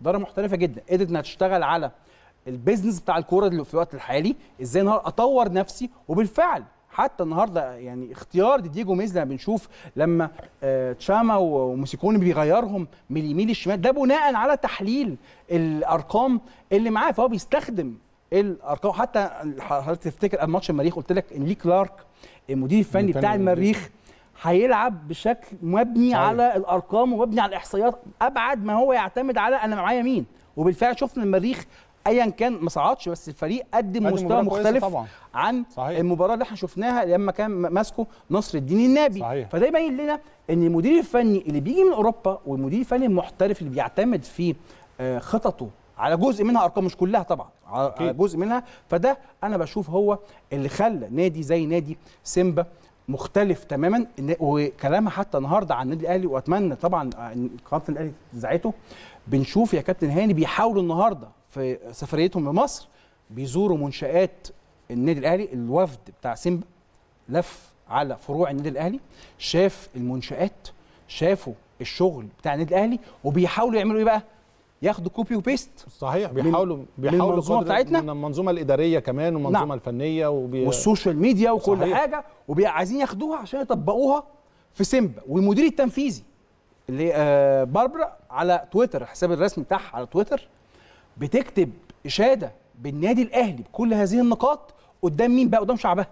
ما. بتكتبش ده لينا إحنا كمصريين آه، لا،. هي بتكتب الكلام ده للإعلام في تنزانيا للإعلام في أفريقيا للمواطنين في تنزانيا عشان يعرفوا قيمة النادي الأهلي خارج الملعب. بالظبط. دي حتى قالتها في التويتر. قالت أنا بتكلم خارج الملعب. ما بتكلم النادي الأهلي مش كبير بس داخل الملعب. اللي أنتوا بتشوفوه داخل الملعب ده فرقة الكورة. إنما خارج الملعب ده عملاق لازم كلنا نتعلم منه والناس حتى يشوفوا الردود بتاعه الجماهير في أفريقيا من جنوب أفريقيا ومن نيجيريا ومن غانا كله عمال يشيد بالنادي الأهلي وعظمة النادي الأهلي. فدي ناس محترفة ما عندهمش أي مشكلة. إن يقولوا في ناس أحسن مننا هنتعلم منهم وهناخد الحاجات منهم copy و paste عشان نتطور. هو لو ما كانش النادي الأهلي ماشي بخطى احترافية ما أعتقدش هم كانوا فكروا وهم لما جم كمان من من سبع شهور اشادوا بالدور اللي أنت بتقول عليه مش جوه الملعب مش مستطيل مش موضوع مش موضوع ماتش أو مباراة. الموضوع انك عندك إدارة كمان على مستوى عالي جدا عندك كوادر إدارية بشكل كبير. عندك بنية أساسية اتفرجوا على المنشآت اتفرجوا على الافتتاحات بالنسبة كمان لفروع النادي الأهلي. نعم. وزي ما انت بتقول بياخدوا copy paste ويمكن ال tweet ة اللي هي كتبتها كانت ردود الأفعال كمان رائعة. يمكن دلوقتي ال tweet ة على الشاشة أمامنا إن هو إزاي النادي الأهلي نادي كبير وهي في اعتقاد النادي الأهلي هو رقم واحد على المستوى الأفريقي كله من حيث زي ما انت قلت. بس مش داخل الملعب لكن على مستوى الإنشاءات على مستوى الكوادر الإدارية على مستوى الإدارة مجلس الإدارة. فأعتقد ده شيء مهم جدا إن يعني كمان فرقة بتاخد آه، حذو النادي الأهلي وهنلعبها بكرة وهاجي للموضوع فني. نخش بقى في الفنيات شوية. لما نخش في الفنيات هنلاقي إن هم حتى في كلام باربرا لما اتكلمت في الحوار ده وكلام ديدي جوميز هم عندهم target إن هم يحققوا نتيجة إيجابية بكرة عشان يثبتوا ان هم قدروا يعوضوا الخسارتين بتوع الاهلي وفيتا كلوب 5-0 في موسم 2017 2018 يعني هنا طبعا المباراة هم خلاص حسموا الصدارة وديدييه جوميز ربما يكون في وجهة نظري يعني التصريح كان خادع شوية إن هو قال أنا جاي هلعب بالأساسيين. full team وأنا آه، جاي جاهز وعايز أكسب. بالظبط كان بعض التصريحات اللي جاية من الإعلام التنزاني. بعد مباراة فيتا كلوب إن ديدي جوميز هيريح على أقل تقدير آه خمس آه لعيبة طبعا معاهم آه برنارد موريسون لعيب خط الوسط الغاني ده already موقوف طب عايز عايز برضو للسادة المشاهدين نفتكر طب. تشكيلة الفريقين في المباراة الأولى يعني طبعا. برضو. نفتكر إزاي كان بيلعب طريقة اللعب كان بيلعب 4 4 4 2 تقريبا نعم. نفتكر برضو التشكيل وتقوله لنا ونشوف ممكن من خلال يعني من خلال الأحاديث الصحفية إنه ممكن يريح أكتر من لاعب. ال- ال position ممكن يريح مين وممكن يبدأ المباراة إزاي يعني. هو طبعا أكيد إحنا في بعض الأسماء لو شفناهم بكرة في الملعب هيبقى أكيد ديدي جوميز بيلعب بالتشكيل الأساسي وهما الأسماء التالية. أول واحد طبعا المدافع الكيني اللي إحنا عمالين نقول اسمه بقالنا كتير أونيانجو. واحد طبعا من أفضل المساكين في دوري الأبطال السنة دي وقدم مستويات مميزة جدا جدا جدا. المساك اللي جنبه واوا برضو اتنين ال- بيكون معاه الثنائية الاثنين دول أساسيين مع بعض. لوانجا لاعب خط الوسط اللي إحنا اتكلمنا آه، عليه عليه طبعاً كتير. كتير. آه آه وتشاما طبعا الجناح رقم 11 الحريف جدا جدا جدا. ده واحد من أهم هايل. طبعا. رقم 17 مش 11 لا، 11 لأن- كمان لعيب كويس قوي. بالظبط لأن رقم 11 هو آه، ميكسو ميكسوني. ميكسوني. مم. هو طبعا آه، لعيب جناح مهم جدا. هو جاب فينا الهدف في ماتش الجولة الأولى. فلو شفت الخماسي ده في أرض الملعب يبقى ديدي جوميز بيلعب بتشكيلته الأساسية. تشكيلته الأساسية وما غيرش. لكن في وجهة نظري هو محتاج إن هو يغير الت- التشكيل بتاعه عشان يدي مساحة للعيبة بتاعته. طبعا هم عندهم منافسات في الدوري وكمان لسه هيبقى داخل على الدور الربع النهائي وكمان مش عايز يكشف أوراقه كلها للمنافسين الخاص بالمباراه دي. مباراة مهمة الناس هتتابعه. خلاص سيمبا السنة دي الناس مركزة معاه. طبيعي. دلوقتي ليه خد الصدارة من حمل اللقب. يبقى الفريق ده تركز معاه وبالتالي هو قوة بيحاول النهارده يكرروا تجربة آه، مازيمبي وتجربة اسك ابيجان في الماضي. ان هم فرقة يقدر يصنع منها وسان داونز النهارده النهارده أقدر أضخ أموال كتيرة في الفرقه وأجهزها بلاعبين صغيرين في السن مغمورين وأبدأ أشتغل عليهم بمدارس أوروبية في التدريب فأبدأ أطور مستواهم. وكمان في نقطة مهمة سيمبا أنا في وجهة نظري حتى أقصى آماله حتى لو خرج من دور ربع نهائي في دوري الأبطال كم الفلوس والمداخيل اللي هتخش له في نهاية الموسم ده من بيع اللعيبة اللي معاه هتبقى كبيرة وده جدا أعتقد target بالنسبة لهم هو يوصلوا لأبعد نقطة واعتقادي وصولهم من دور الثمانيه ده شيء أكتر من رائع. كبير جدا يعني طبعا. وأعتقد يا كابتن هاني هم كمان هيخشوا يقدروا يقدروا. ياخدوا فلوس كبيرة جدا من بيع اتنين لعيبة بس. يعني ممكن يبيع تشاما نفسه لو باع يعني رغم إن سنه كبير شوية بس لو اتباع بمبلغ كويس هيقدر فريق سيمبا يتحول لغول في أفريقيا خلال السنوات القادمة لو هو معاه فلوس كويسة. إحنا شفنا مازيمبي السنة دي في أضعف أضعف نسخة له ليه فريق ما قدرش يضم لعيبة آه كويسة بعد ما في الجيل اللي عمل له اسمه مشوا عن الفريق. فبالتالي بشوف سيمبا واحد من النمور اللي جاية في أفريقيا الفترة اللي جاية وأكيد التركيز معاها فنيا واداريا هيبقى قوي جدا لو. غير في الأفراد زي ما أنت بتتكلم آه، هيغير طريقة اللعب؟ تغيير واحد بس يعمل. يعني بيلعب 4 4 2 تغيير واحد فقط بس يعمل. يلعب 4 5 1 4 5 5 1 1 هيزود في نص الملعب لمجرد بس إن هو طبعا عارف إن اللعب على في مصر هيخلي النادي الأهلي أكيد عنده أفضلية الهجوم وهيبدأ هو عايز يكتر لعيبة خط الوسط. وأعتقد هو شاف ماتش المريخ وشفنا برضو ليه كلارك عمل نفس الفكرة يا كابتن هاني لما حط لنا ثلاثة في خط الوسط وبسبب التلاتة في خط الوسط خسرنا إحنا الكرة الثانية لأسباب كتيرة بصراحة. بس كانت واحدة من برضو تاني من النقط اللي بتخسرنا الماتشات الاوليه هي الكرة الثانية وطبعا الكرات الطويلة. كانت شغالة بسم الله الرحمن الرحيم يعني من أول المباراه لغاية آخر المباراة. ده الأسلوب الأمثل للفرق اللي بتلاعب النادي الأهلي في مصر عشان تقدر تخلق هجمات. نفس أمر عمرو فيتا كلوب معانا مرة في الشوط الأول جابوا منها هدف وعملوها مرة لما آه، جم خدوا ضربة الجزاء غير المستحقة في نهاية المباراة. فأنا في وجهة نظري التغيير الوحيد اللي هنشوف بكرة في سيمبا إن هو بس هيتخلى عن الاثنين اللي جنب بعض وهيخليها 4 هيتخلى 4 على راس حربة من الاثنين وهيبقى 4 5 1 آه بالظبط 4 5 1 أو 4 4 1 1 طيب على سبيل المثال النادي الأهلي كان في مباراة المباراة ال- الأولى كان بيلعب بثلاثه في نص الملعب. كان نعم. بيلعب ديانج وحمدي فتحي وأكرم. وأكرم. أه، مش ه- اعتقادي الشخصي السيناريو هيتغير. أكيد طبعا. أكيد هيتغير. أكيد. حمدي طبعا إصابة. أنت نعم. بنتكلم آه، خلال حديثنا بتتكلم عمرو السوليه محتاج شوية إنه يريح. يريح. ما بقاش غير عندك أكرم وأنت قلت إن بالظبط. ممكن محمد هاني يريح فهحط. أكرم توفيق. هنحل دي إزاي أحمد هاني لو محمد هاني لو ريح هنحط بيكم. نحط باكم. وناحيه شمال؟ هنحط آه ناحية الشمال نحط أي- أيمن أيمن أشرف. أيمن أشرف. آه. okay.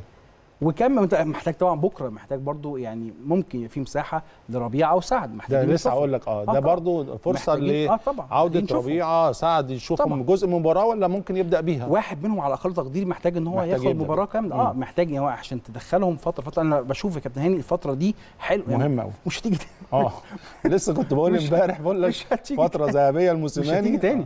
لغاية آخر الموسم؟ آه خلاص. دي مش هتجيلك تاني. ال 11 يوم دول مش هيجولك تاني خالص. كم المباريات والضغط اللي, ه... اللي إحنا هنشوفه. ونتمنى نتمنى إن الضغط يكمل معانا لغاية شهر 10 ما عندناش قد مشكلة عشان بس نكمل إن شاء الله. مشوارنا سواء في يعني المعترك الأفريقي أو حتى المعترك المحلي. بس الفكرة إن أنا أشك إن يجي لنا 11 يوم زي دول تاني حتى إيه ممكن حد يقول لي طب ما يا كريم ما هيجي توقف دولي. آه ما هيجي توقف دولي. ما اللعيبة الدولية. هيتاخدوا منتخبات. صحيح. وإذا أضفنا كمان أكيد بدر بنون ربما ياخد يروح صحيح. المغرب وكمان وديانج بيروح مالي. فأنت في بقى كم هائل هيروحوا في أوقات أنت فعلا هتبقى محتاج إن لو لعيب بس أو اتنين من الخمسة إحنا بنتكلم عليهم دول ياخدوا راحة سلبية 48 ساعة. يعني ما يلعبوش كورة خالص. طب أنت قلت خمس لعيبة ما جبتش سيرة محمد الشناوي. هل محمد الشناوي انت شايف انه يستمر؟ شايف انه ممكن برضه م- نعم. يقلل ضغوط شوية ونبدأ نكسب مثلا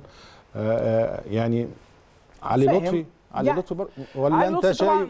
أنا مركز حراسه المرمى أيوه أنت عمري ما أقول عليه إن هو عنده إجهاد. ما أقدرش أقولها دي. إزاي ما بقى فيهاش إجهاد. لا حارس المرمى ما ما- بقولش إن هو مجهد. ما يعني صعب ما- جدا أقول إن هو مجهد. بسبب مباريات حارس المرمى بيبقى عليه محاولات. في الماتش. بس الإجهاد الذهني برضه يا كريم إجهاد كبير جدا. وأنا أنا يعني أنا عارف إن حراس المرمى يمكن كمية الجري مش كتير لكن عملية التركيز وعملية ال position مجهود. أنت بتحس هو بيحس بعد المباراة إنه نعم. يعني عمل مجهود كبير. طب. أنت شايف رؤيتك؟ يعني كلنا بنتكلم وجهات حراسه نظر يعني. المرمى فيها مدرستين. في مدرسة بتقول أنا بعمل روتيشن على حسب البطولة. دي واحدة منها مثلا كان اعتقد أعتقد كانت في برشلونة. كان في حارس بياخد الدوري حد بياخد الكاس. وحارس بياخد لا وإيه مش مش كاس بس دوري الأبطال. دوري الأبطال. دوري الأبطال. والأمر ده برضه أعتقد كان مرة أعتقد ربما في آه، لا هو برشلونة هو أبسط مثل عندي أو أقرب مثل عندي. دي مدرسة أنا بشوفها المدرسة دي مش ناجحة. لأن لو أنت الحارس المرمى أنا بحب حارس المرمى اللي بياخد كل المباريات ويستمر فيها لغاية ما يحصل حاجة حاجة من اتنين لا قدر الله. يحصل إصابة هو ايقاف أو أو ايقاف طبعا أو إن في ضعف في المستوى يحصل مشاكل كبيرة فأنت ما تقدرش تتحمل بقى الضغط. ده آه ساعات بتحصل. وأنا بحب المدرسة دي اللي بتعتمد على حارس المرمى لأطول فترة ممكنة حفاظا على ثبات المستوى. الروتيشن في حراسه المرمى دي أنا ما بحبهاش لكن ممكن بكرة يحصل. في مساحة إن محمد الشناوي يريح وياخد علي آه لطفي. ليه؟ إن هو برضو علي إحنا جينا استخدمناه في بعض الأوقات وأثبت جدارة جيدة جدا جدا وكان له تصديات ممتازة. فممكن يبقى فيه مساحة. لكن أنا في حتة إن أنا أقول إن ده تم بسبب الإجهاد لا هو مش بسبب إجهاد ولكن بسبب إن أنا عايز أدي عدد. أدي فرصة. آه, okay ده مفيش مشكلة فيه. طب على مستوى رأس الحربة آه، برضو عن موضوع ال rotation. الناس بتتكلم rotation برضو على مستوى ال- ال- ال striker. مش كتير قوي خاصة الناس بتتكلم محمد شريف هو نعم. اللي خ... نخليه شوية هو هنا في سؤال بقى محمد شريف في شوية سؤال حلو مم. يعني محتاجين موسمين بكرة يجاوب لنا عليه هو طبعا مباراة بكرة زي إحنا قلنا لحد ما ما فيهاش ضغوطات ضغوط، كبيرة هل هتبقى على ال 4 4 2 اللي انت لعبت مم. بيها في فيتا كلوب والمريخ اللي إحنا طبعا دول آخر ماتشين لأن إحنا ما لعبناش دوري صحيح. بسبب التوقف الدولي فدو فاحنا هنا غيرنا الطريقة وإحنا طبعا متعودين مع موسيماني 4 2 3 1 أو لما بيهاجم بشكل في يعني شراسة شوية بيحولها ل 4 3 3 فال 4 4 2 بدأ خدناها لو إحنا محتاجين نقط من ماتشات معينة صحيح. وعايزين نوصل للمرمى بسرعة. ان أنت وصولك للمرمى. ف 4 4 2 أسرع بكتير من 4 2 3 1 تط- التطبيق الصح ما إحنا شفنا 4 4 2 في الماتشين. في ماتش آه، طبقناه 10 على 10 اللي هناك نعم. ولعبنا برضو بنفس التشكيل نعم وم- آه، قدام المريخ أيوة. وما ما عملناش نفس الشكل هو تطبيق الطريقة بشكل بشكل آه، بس صحيح في وجهة نظري يا كابتن هاني. في وجهة نظري الشخصية فارق التطبيق ما بين ماتش فيتا كلوب وماتش آه المريخ هو اهتزاز الأداء بعض الشيء بعض الشيء عشان ما. نبقاش مجحفين بعض أكيد. الشيء عند محمد هاني والذهني عند بدر بنون هم دول بس لكن بقية الفريق إحنا بدأنا بهجمة لمحمد شريف كان ممكن يجي منها هدف بسهولة جدا هو كان مع في مواجهة الحارس لما مروان محسن نزلوا الكورة. إحنا بنتكلم عليها دايما داخل منطقة الجزاء وفرصة بعديها برده كانت لمروان محسن. فالطريقة كانت ماشية بشكل كويس جدا. لكن المشكلة حصل اهتزاز من الهدفين. الهدف الأول خطأ وعادي بتحصل مفيش مشكلة. وارد، لا لكن وارد أنا طبعاً. مش شايف في مشكلة. ولكن هنا في نقطة مهمة. لو هنحافظ على 4 4 4 2 يبقى مروان محسن مكمل. ممكن تشيل شريف وتحط صلاح. ده أو تحط بواليا خصوصا الحمد لله الحمد لله إن الإصابة اللي حصلت في. التدريبات بسيطة. لكن لو هتكمل ب 4 4 2 الأساسي فيها مروان. مروان. أساسي فيها. عايز تريح؟ ريح محمد شريف وادي فرصة لأي حد تاني. طيب 4 2 3 1 نرجع بقى لقديمه. لو لو في فكر موسيماني آه. إن هو هيبدأ ب 4 2 3 آه 1 هنرجع لقديمه يبقى خلاص هنا دور مروان محسن بيتشال على الدكة لأن زي ما اتفقنا مروان جهده بيبقى بشكل كويس جدا جدا جدا لما بيكون معاه حد جنبه حد. جنبه حد بيشيل من عليه وتعتمد على مروان في الكتله العاليه هنلعب 4 2 3 1 يبقى أنت محتاج تعتمد على محمد شريف أو بواليا أو صلاح محسن. الثلاثه دول هم اللي بيقدروا يقدموا الدور المهاجم في الطريقة دي بشكل مميز. طيب آه، هل يا ترى هيدي مثلا هيبدأ بقفشة ولا أنت شايف إن وليد سليمان التوقيت ممكن يديله من الأول آه، جزئية فنية بالنسبة آه، مثلا طاهر محمد طاهر. نعم. هل نستفيد بطاهر محمد طاهر في أول مباراة ولا ك playmaker نعم. وأجاييه ويبقى عندك الشحات. يعني قول لنا الثلاثه اللي تحت رأس الحربة توظيفهم بكرة ممكن يكون إزاي؟ أنا أتمنى إنه يدي ناصر ماهر يبدأ. playmaker آه يدي ناصر ماهر playmaker ويدي وليد سليمان على الخط ويدي طاهر محمد طاهر ويغير من الر- الرباعي الأمامي ويدي مساحة لإن اللعيبة فعلا يعني يكون ثنائيات جديدة. ساعات كابتن هند ساعات. في توليفات بتحتاج إنها تتغير. بمعنى إيه؟ طاهر مثلا لما بيلعب مع أجاييه ويجوا يعملوا يعني هم يغيروا أماكنهم مع بعض ساعات ما بتنجحش. زي مثلا مثلا في وجهة نظري الشخصية البحتة. حسين الشحات وأنا كده بحلل اداؤه في مباريات كتيرة لقيت إن هو من ساعة ما جه النادي الأهلي تخيل أحلى أحلى لحظاته مع النادي الأهلي لما بيلعب وينج ليفت مش وينج رايت أحلى لحظات حسين الشحات مع النادي الأهلي لما لعب على الشمال وادي مثال هدفه في نادي الزمالك لما رقص حمدي نقاز كان ليفت وينجر هدفه في الوداد لما لم الناس وبعترهم وعمل الجون المارادوني ده كان ليفت وينجر في كأس في المونديال لما جاب الهدف من العمق كان جاري من الشمال. هو علشان بيلعب برجليه اليمين فالدخلة بتساعده شوية. لو بيلعب ناحية الشمال بيخش فبيتعطل شوية. أنا أنا أنا أنا مش مدير فني أنا محلل. أنا أقول لك بقول لك أهو. أنا أقول لك أنا أقول لك التحليل مدير فني ساعات يقول لك لا والله أنا تحليلك علينا على راسي بس أنا شايف إن هو كويس عليهم فأنا بس بقول لك ان حسين الشحات. مثلا مثلا آه، النقطة اللي أنا بقولها دي مثلا إيه المشكلة نيجي في ماتش حسين يبدأ على الشمال؟ إيه المشكلة؟ ما يبدأش على اليمين. لو هي فعلا عدلتك بتخليك مرتاح. العب على الشمال شوية. وخلي بالك ممكن 10 دقايق ربع ساعة وتعالى ناحية اليمين وبتحصل. على طول ماتش المريخ لما نزل. صحيح. حسين راح على الشمال. بالظبط. فاللي أقصده هي في في بعض الأوقات يا كابتن هاني بيبقى التوليفة. مم. التوليفة بتاعت المجموعة اللي بتلعب في في أرض الملعب بتحتاج إن أنت تغيرها خصوصا ال wingات عشان كده حتى الاكستشينج اللي بيحصل أو التغيير دايما في كل فرق العالم دلوقتي بيلعبوا بأجنحة هجومية لازم في الماتش لازم يغيرهم يغيروا طبعا ما لازم يغيرهم ليه البايرن عشان قدام النادي الأهلي كان على طول لازم جنابري يغير بيغير ليه؟ مع عشان ما يخليش ال full back اللي صح. قدامه بقى. يتعود وحافظ الأسلوب بتاع لاعب المهاجم طيب آخر سؤال تتمنى يقابل مين النادي الأهلي في دور الثمانية سان آه. داونز سان داونز سان داونز طب أنا بشجعك لأن قلت سان داونز سان. داونز أنا أتمنى لاسباب بقى. قول لي أسباب سريعا اتمنى أتمنى نقابل سان داونز ليه؟ لأن سان أنا بحب فرق جنوب أفريقيا إنها بتلعب كورة. مفيش عوامل نفسية. عوامل نفسية بعيدة. إحنا أول ما بنعرف إن هنلاعب فريق عربي مهما كنا في عصر إيه بس بيبقى في برضه بعض الأمور آه هي قلت عن زمان كتير لأن إحنا لعبناهم كتير قوي في الفترة الأخيرة. ولكن still برضه بيبقى في شوية كده موجودين. صحيح. لكن أندية جنوب أفريقيا بنلعب كورة للكورة فقط. وتاني حاجة إحنا خلال السنتين الأخيرتين خدنا خبرة كبيرة جدا جدا جدا باللعب في بريتوريا وعارفين إن إحنا هنروح نلعب. استاد العصر صحيح. فبقى الموضوع بالنسبة لنا عادي فأتمنى بصراحة في وجهة نظري يعني إحنا في الربع النهائي نلعب سان داونز طب سؤال ما بتحبوش بكرة الماتش كام كام ومين اللي هيجيب اجوان بكره ان شاء الله نكسب نكسب إن الله شاء الله. إن شاء الله نكسب وبإذن الله مكسب حلو. نكسب برضه نتعدي في وسط الأسبوع بإذن الله مباراة الكاس إن شاء الله, إن شاء الله كريم بنشكرك شكرا جزيلا ميرسي جدا يا نورتنا. وشرفتنا كالعاده جزيلاً. يعني. ميرسي جدا يا كابتن شكرا شكرا جزيلا شكرا لك ميرسي. دي كانت طبعا نهاية فقرتنا الأولى هنروح للمؤتمر الصحفي لمستر موسيماني ومحمد الشناوي وبعد المؤتمر فاصل ونستقبل النجم الكبير أمير عبد الحميد Unfortunately, or fortunately, fortunately for the other players who haven't been playing, they can get a chance tomorrow. But unfortunately, we have a few injuries of uh, i- i- some of the players. So we'll have to replace players who, who are injured.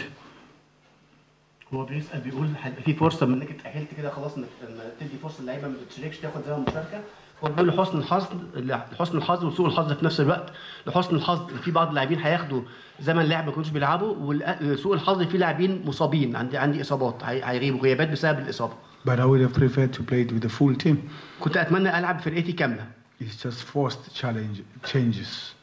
دي التغييرات عمل دي أنا مجبر عليها and we have a, a, a very big program behind that's coming. The next month for us is going to be very, very hectic. So we have to make sure that we, we, we, we don't put players who can get long-term injuries and, and, and we can have a problem. أنا عندي هيبقى عندي مشكلة هواجهها بشكل كبير الشهر الجاي في خط الدفاع الخط اللي عندي ورا عشان كده هحاول قدر الإمكان ما ادفعش بلاعبين ممكن يصابوا إصابات مزمنة نعاني منها بعد كده Yeah, we'll have forced changes. فبقول لحضرتك إن هو ال- التغييرات مجبر عليها Not changes because we're resting players. No. مش عشان نريح لعيبة and the- the- to- the- to be the second of the- of the- Look, it's, it's, it's both ways. It's like this. فكرة التاهل آه، بيقول التاهل آه، في ال- في المركز الثاني ده بيفرق حاجة بالنسبة لك هو بيقول من ناحيتين بيقول كده وكده زي مشاور بإيده Ideally, for the pride of the team, we would have liked to finish first. طبعا لفخر الفريق بنفسه كان وعايز كان يتمنى يطلع الأول طبعا أول مجموعته للنادي الأهلي we were compromised by the game against Vita here. وللأسف الماتش بتاع القصة كلها من الماتش بتاع فيتا اللي اتلعب هنا which we don't want to talk about that match مش because هنتكلم عنه الماتش ده مش عايزين نتكلم عنه. it had a lot of situations. كان في مواقف مخت... يعني حصلت فيه كتير مش عايزين نتكلم مش عايزين we, فيها دلوقتي we played very well in that match, لعبنا كويس جدا المباراة دي مع فيتا هنا عندنا. But some of the things were beyond our control. لكن في حاجات حدثت طبعا أنتوا عارفينها خارج خارج إيدينا وخارج عن- آه، سيطرتنا وهي أثرت في نتيجة المباراة. But uh, coming second is also a qualification, لكن المركز الثاني برضه تأهل متأهلين مركز ثاني and I look at it positively. نبص عليها بإيجابية بمنظور إيجابي that uh, uh, last last season, إن الموسم اللي فات at this point in time, we were playing for uh, the last match. We were playing for to qualify to the going to the quarterfinals. يعني إحنا الماتش الأخير دوري المجموعات كنا بنلعب على التأهل آه، كان مع الهلال كنا بنلعب على التأهل وكناش لسه تاهلنا إحنا تأهلنا هنا ومع ذلك تأهلنا وخدنا بطولة أفريقيا ورحنا كأس العالم So the positive side out of that is that we have qualified before the last match. الجزء الايجابي طبعا نتكلم في الصورة ان إحنا تاهلنا قبل الماتش النهائي قبل اخر ماتش لينا في المجموعه And coming first doesn't mean you will win the Champions League وتتصدر مجموعتك مش معناه انك هتكسب بطوله افريقيا because the history says last year, last season, last last edition of Champions League, تاريخ النسخه الاخيره افريقيا everybody who finished first was knocked out, كل اوائل المجموعات خرجوا didn't آه، go to the ما semi-final. وصلوش الدور قبل النهائي So my experience says maybe, خبرتي بتقول ممكن don't know, maybe deja vu or not, I don't know. ممكن هي حاجة يعني سبق رؤيتها قبل كده حاجة يعني سيناريو بيتعاد تاني يعني But we, we are prepared to play anybody who's who's first, بس إحنا بس جاهدين مستعدين نلعب مع اي فرقه من, من اوائل المجموعات be it uh, Taraji, نكسب الترجي Sundowns, او سان داونز Without. او الوداد I think there's been good history of Ali طبعا حاجه زي كده فوزنا عليهم هيبقى كويس في تاريخ النادي الاهلي against those teams, قدام فرقه زي دي and and the history is not too long.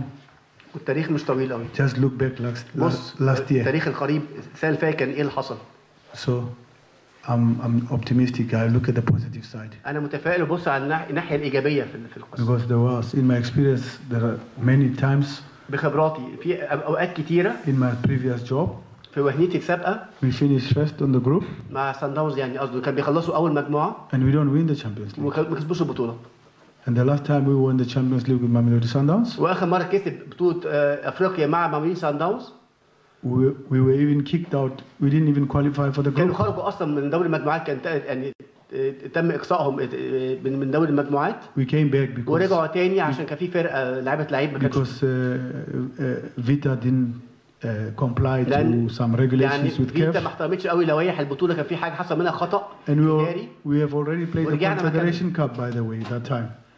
And we were, we were brought back. وكنا خلاص آه، التحقنا ودونا آه، آه، كاس آه، اللي هو ال- ال- ال- الكاب كاب And we won it. خرجوا بس رجعونا تاني عشان فيتا خرجت ولعبنا البطوله وكملناها وخدنا الكاس So for me, it's a lot of life lessons to learn from those things. دي كلها دروس المفروض ناخدها نتعلمها من المواقف اللي زي دي So finishing on the group doesn't mean you win the Champions. معنى تنهي المركز الأول بتاع مجموعتك مش معناه انك تكسب بطوله افريقيا مش بالضروره but we would have loved to finish بس fifth. طبعا كنا نتمنى نكون اول مجموعتنا Yeah, medically, I'm not qualified to to answer him the right way. وطب طب بيسال غياب علي معلول ليه طول وإيه الت- التبرير أو تعريف الطب الموضوع التشخيص الطبي فبيقول أنا طبيا مش مؤهل نرد عليك في سؤال زي ده We haven't seen him since Qatar. إحنا ما شفناهوش من وقت قطر في كأس العالم even in Qatar, he didn't. He only played uh, uh, not the full match. حتى في قطر ما لعبش ماتش ماتش واحد. بس وما كملش بعد كده So we had to replace him in the first in the first game. وتاني يعني ن- ن- نغيره An important player for us. وده لعيب very مهم important. بالنسبه لنا You know, very important. But, لعيب مهم uh, جدا بالنسبه لنا طبعا uh, he came. I think maybe he came back too early, واعتقد يمكن رجع بدري شويه and he was running and kicking the وجري ball, واتحرك وشاط كوره ولعب and uh, again he went out. ورجعت له تاني الاصابه Just when he was just about 10, seven days, 10 days, في 10 ايام 7 ايام او 10 ايام فتره 7 and he ايام او had to 10 go ايام back from the beginning. ورجع تاني تاني من اول اصابه من اول جديد جددت من اول اصابه تاني So we're waiting. We're waiting for him. We miss. We miss him, احنا مفتقدين ومنتظرين يرجع but Ali Manu. uh, it's it's okay. We we, we we we have been. We are where we are, بس and احنا في and he مكاننا hasn't been playing. We should not make that as an excuse لكن ده برضو غياب لعيب مهم زي ده ما, ما يشكلش عذر بالنسبة لنا أو ما ناخدوش كعذر. Because you got the bronze medal in the World Cup. لأن إحنا من غيره خدنا And he بطولة was not البرو- available. الكاس اللي خدنا في كأس العالم خدنا ميدالية برونز وما كانش معانا. الماتش اللي فات آه، إحنا طبعا داخلين المباراة ديت وإحنا عارفين إن إحنا اتأهلنا خلاص وكنا إحنا نتمنى إن إحنا كنا نطلع أول مجموعة وكنا رايحين ماتش السودان آه، مريخ السودان اللي إحنا كنا رايحين على الفوز. بس إحنا كنا عندنا آه، يعني اتنين آه، يعني لا تعادل لا مكسب وإحنا كنا رايحين على المكسب عشان ناخد الهدف. إحنا رايحين هدف لينا اللي إحنا نصعد من هناك مش عايزين نخش في حسابات ثانية آه، بس الحمد لله رحنا للهدف اللي إحنا عايزينه اللي إحنا خدنا البونت اللي من هناك والحمد لله يعني ربنا وفقنا هناك. آه أوكي ممكن يكون في شوية آه، ممكن ما كناش في مستوانا الماتش ده بس آه، اهم حاجة اللي إحنا طلعنا رجعنا بال- بالنقطه وطبعا بشكر اللعيبه ان هم الشوط الثاني كانوا على قد المسؤوليه ورجعنا الحمد لله بال- بالهدف بتاعنا وإحنا نفكر في اللي جاي وعندنا ماتش بكره طبعا ماتش مهم جدا آه، طبعا آه، استعدنا ليه كويس جدا والفرقه فرقه محترمه وإحنا عاملين لها حساب آه، وعاملين لها استعداد كويس جدا واهم حاجة اللي إحنا نكون بكره على قد نلعب اداء جيد وان شاء الله نعمل حاجة كويسه بكره وربنا يوفقنا ونفكر في المرحلة اللي بعديها المرحلة دي خلاص خلصت من أول بكرة إن شاء الله الماتش يخلص يبقى كده المرحلة خلصت نخش في اللي بعديها على طول إن شاء الله You cannot. كرة القدم You كوره cannot. لعبة Conf- طريقه you cannot confirm football. ما ينفعش تأكد أي حاجة في كرة القدم ما ينفعش تاخد حاجة إنها حاجة مؤكدة We learn every day. بنتعلم كل يوم حاجة جديدة I think you have seen the results of the of the European Champions League. شفت نتائج بطولة أوروبا كان شكلها إيه Last night, امبارح we, should learn from that. المفروض نتعلم منها قصده ماتش بايرن ميونخ That. there's no there's no guarantee. ما فيش حاجة مضمونه ما فيش حاجة اسمها فرقه كبيره Uh, that's football for you. دي كره القدم ده And and I would not answer your que- question مش هجاوب على سؤالك. عايز تلعب مع مين؟ مع الترجي أو صن داونز أو وداد أنا مش هجاوب على السؤال ده. But I will base my my answer on on reality and the truth. هستند في إجابتي على الحقيقة وال- وال- وال- وال- والوضوح. I think you know the results of Mamelodi Sundowns with Ali last last last last editions, انت شفت نتيجه الاهلي وصن داونز النسخه الاخيره and I think you know the results of Al Ahly with uh, without last edition. وحضرتك شفت برضو النسخه اللي فاتت عملنا ايه مع الوداد النتيجه كانت شكلها ايه في الماتشين And when I اللي checked the بعض؟ history, I've seen that Al Ahly has beaten Taraji here. وبرضه لما اشوف التاريخ افتكرت ان الاهلي كسب الترجي هنا في القاهره So maybe away game we have not beaten Taraji. يمكن ماتش العودة هناك في ال- في النهائي ما كسبناش الترجي So as away game we have not beaten Wydad until last year. بس برضه خدوا بالكم إن الوداد ما كناش بنكسبهم بره على أرضهم إلا لغاية السنة اللي فاتت فالتاريخ بيتغير So and the history with Sundowns is that Ali didn't beat Sundowns in, in South Africa before, الأهلي ما كسبش ما عملش نتيجة إيجابية مع سان داونز قبل كده هناك but they beat them here. بس يكسبهم هنا So just read between the lines. اقرا الكلام بين السطور اقصد ايه You can come to your answer. هتعرف اجابتك But اجابه سؤالك we are we are Al Ahly. احنا الاهلي We will play anybody, نلعب مع اي حد and there's no guarantee that if you're number one on the group, مفيش حاجه مضمونه تكون اول مجموعتك you are going to win the Champions League. ان انت هتبقى بطل افريقيا But we we we, we can admire uh, Vita. I mean Siba. لكن ممكن نقدر فريق زي سيمبا They've had a very good, عليه فرقه very فرقه, good program, فرقة كويسه جدا وعندهم and they've done كويس أداء. exceptionally well. They deserve to be where they are. و- وعم- و- و- يعني أداء استثنائي ويستاهلوا يكونوا في المكان اللي. Same as Mamelodi Sundowns, برضه. ونفس الموضوع بالنسبة لسان داونز same as سان داونز same as Taraji. والترجي But we are we are Al Ahly, بس إحنا في الآخر إحنا الأهلي إحنا النادي الأهلي and we've got nine stars. عندنا تسع نجوم على الفنان الأندية التنزانية ملهاش تاريخ يذكر أمام الكرة المصرية أو أمام النادي الأهلي تحديدا هنا في مصر ومع ذلك النهاردة سيمبا في دور المجموعات لم يخسر ولا مباراة. وده يمكن دافع قوي جدا أنه يظهر النهاردة على أرض بطل القرن الأفريقي وهو النادي الأهلي بدون هزيمة أيضا. عشان نتكلم أكتر ونقرب أكتر من مباراة بكرة نوانا طبعا في بداية الحلقة عن حارس المرمى الكبير طبعا كابتن أمير عبد الحميد عشان يكلمنا بالتفصيل عن المباراة دي. من وجهة نظره طبعا الفنية والتحليلية ب- برحب بيك وكل سنة وأنت طيب ومنور في البيت الكبير. أهلا بيك يا سهام أنا سعيد جدا إن أنا معاك النهارده طبعا مع كابتن هاني رمزي. حبيبي وببقى دايما سعيد إن أنا موجود في بيتي يعني قناة النادي الأهلي. منور آه، دايما. طيبين وكل سنة والسادة المشاهدين وأنت. بألف خير يا رب سنه ينعاد وانت عليك. طيب وأيام سعيدة إن شاء الله دايما. أمير يعني سهام اتكلمت في نقطة مهمة جدا. هناخد منها وهناخد من اللي يمكن كان في مؤتمر صحفي لمستر موسيماني ومحمد الشناوي آه، اتكلموا على نقطتين ون- ونحاول نتناقش في النقطة دي. اولا النقطه اللي اتكلمت عليها سهام إن آه، سيمبا من اعتقادي هو الحصان الأسود لدور المجموعات آه، خلال المباريات كلها ما خسرش مباراة وبالتالي عنده حوافز لاستمرار آه، هذا ال- ال- الريكورد الحلو قوي. الجزء الثاني موسيماني اتكلم كمان على نقطة بعض جماهير النادي الأهلي شايفاها لأ آه، مقلقة شوية. موسيماني قال مش بالأولوية إنك تكون أول المجموعة عشان تاخد تاخد البطولة. محمد الشناوي كمان اتكلم إن هو مباراة بكرة ليها أهداف خاصة. اتكلمنا. يعني في الشمول اللي قلت لك عليه دوت رؤيتك لمباراة سيمبا أهداف النادي الأهلي إيه ب- بكرة؟ مشوار النادي الأهلي في دور الثمانيه كمان هيكون عامل إزاي؟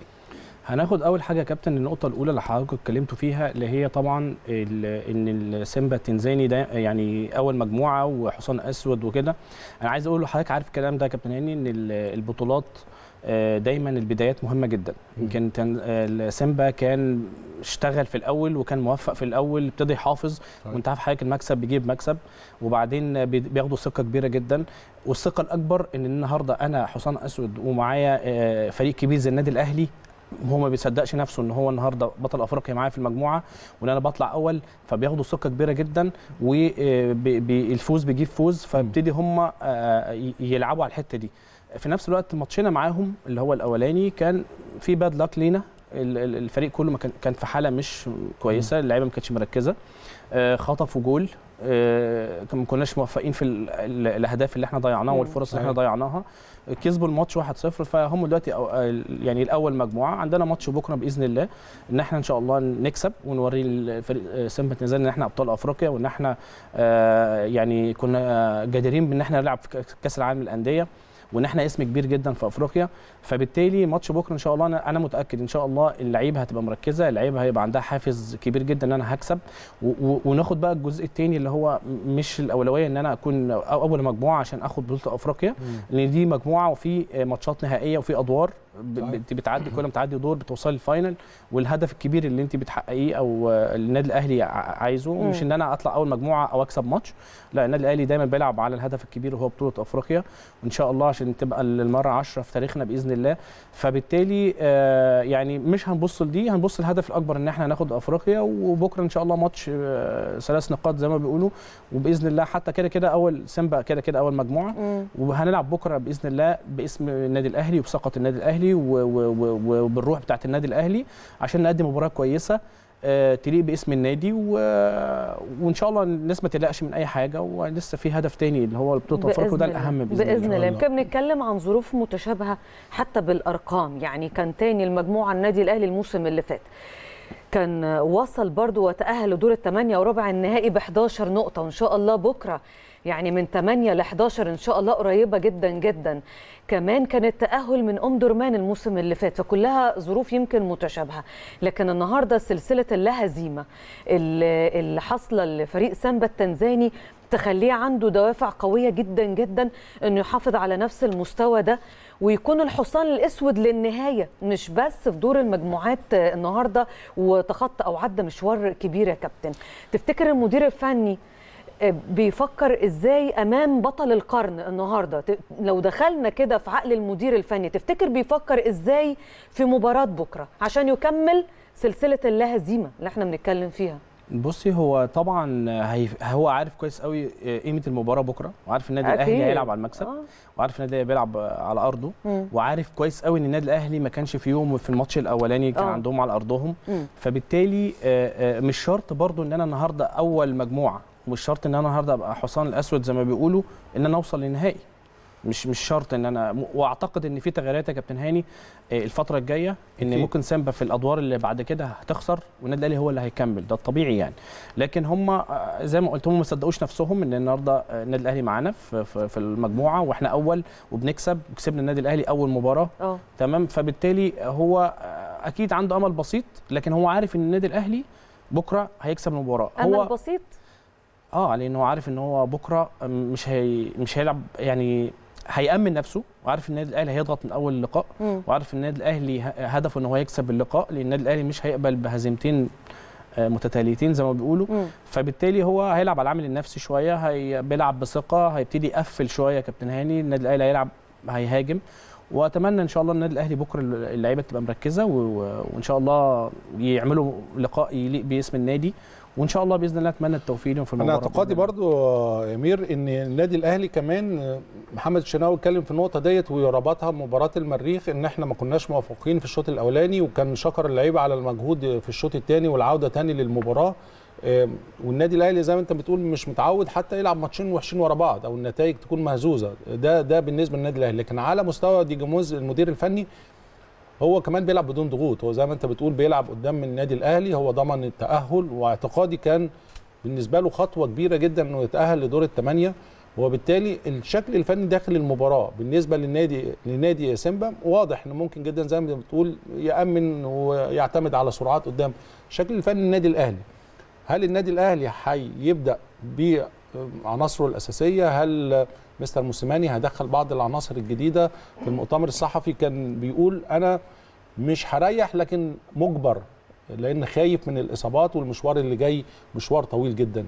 أنت شايف إزاي يعمل المعادلة ديت؟ انه يحافظ على اللعيبة بشكل كبير جدا للمشوار اللي جاي وفي نفس الوقت يكسب المباراة بأداء ونتيجة كويسة. أنا شايف من وجهة نظري إن هو هي مش هيبقى فيه تغييرات كتير. مم. لإن هو هيلعب بال- بالناس الأساسية. ممكن يغير واحد أو اتنين وفي ظروف معينة ظروف إصابة.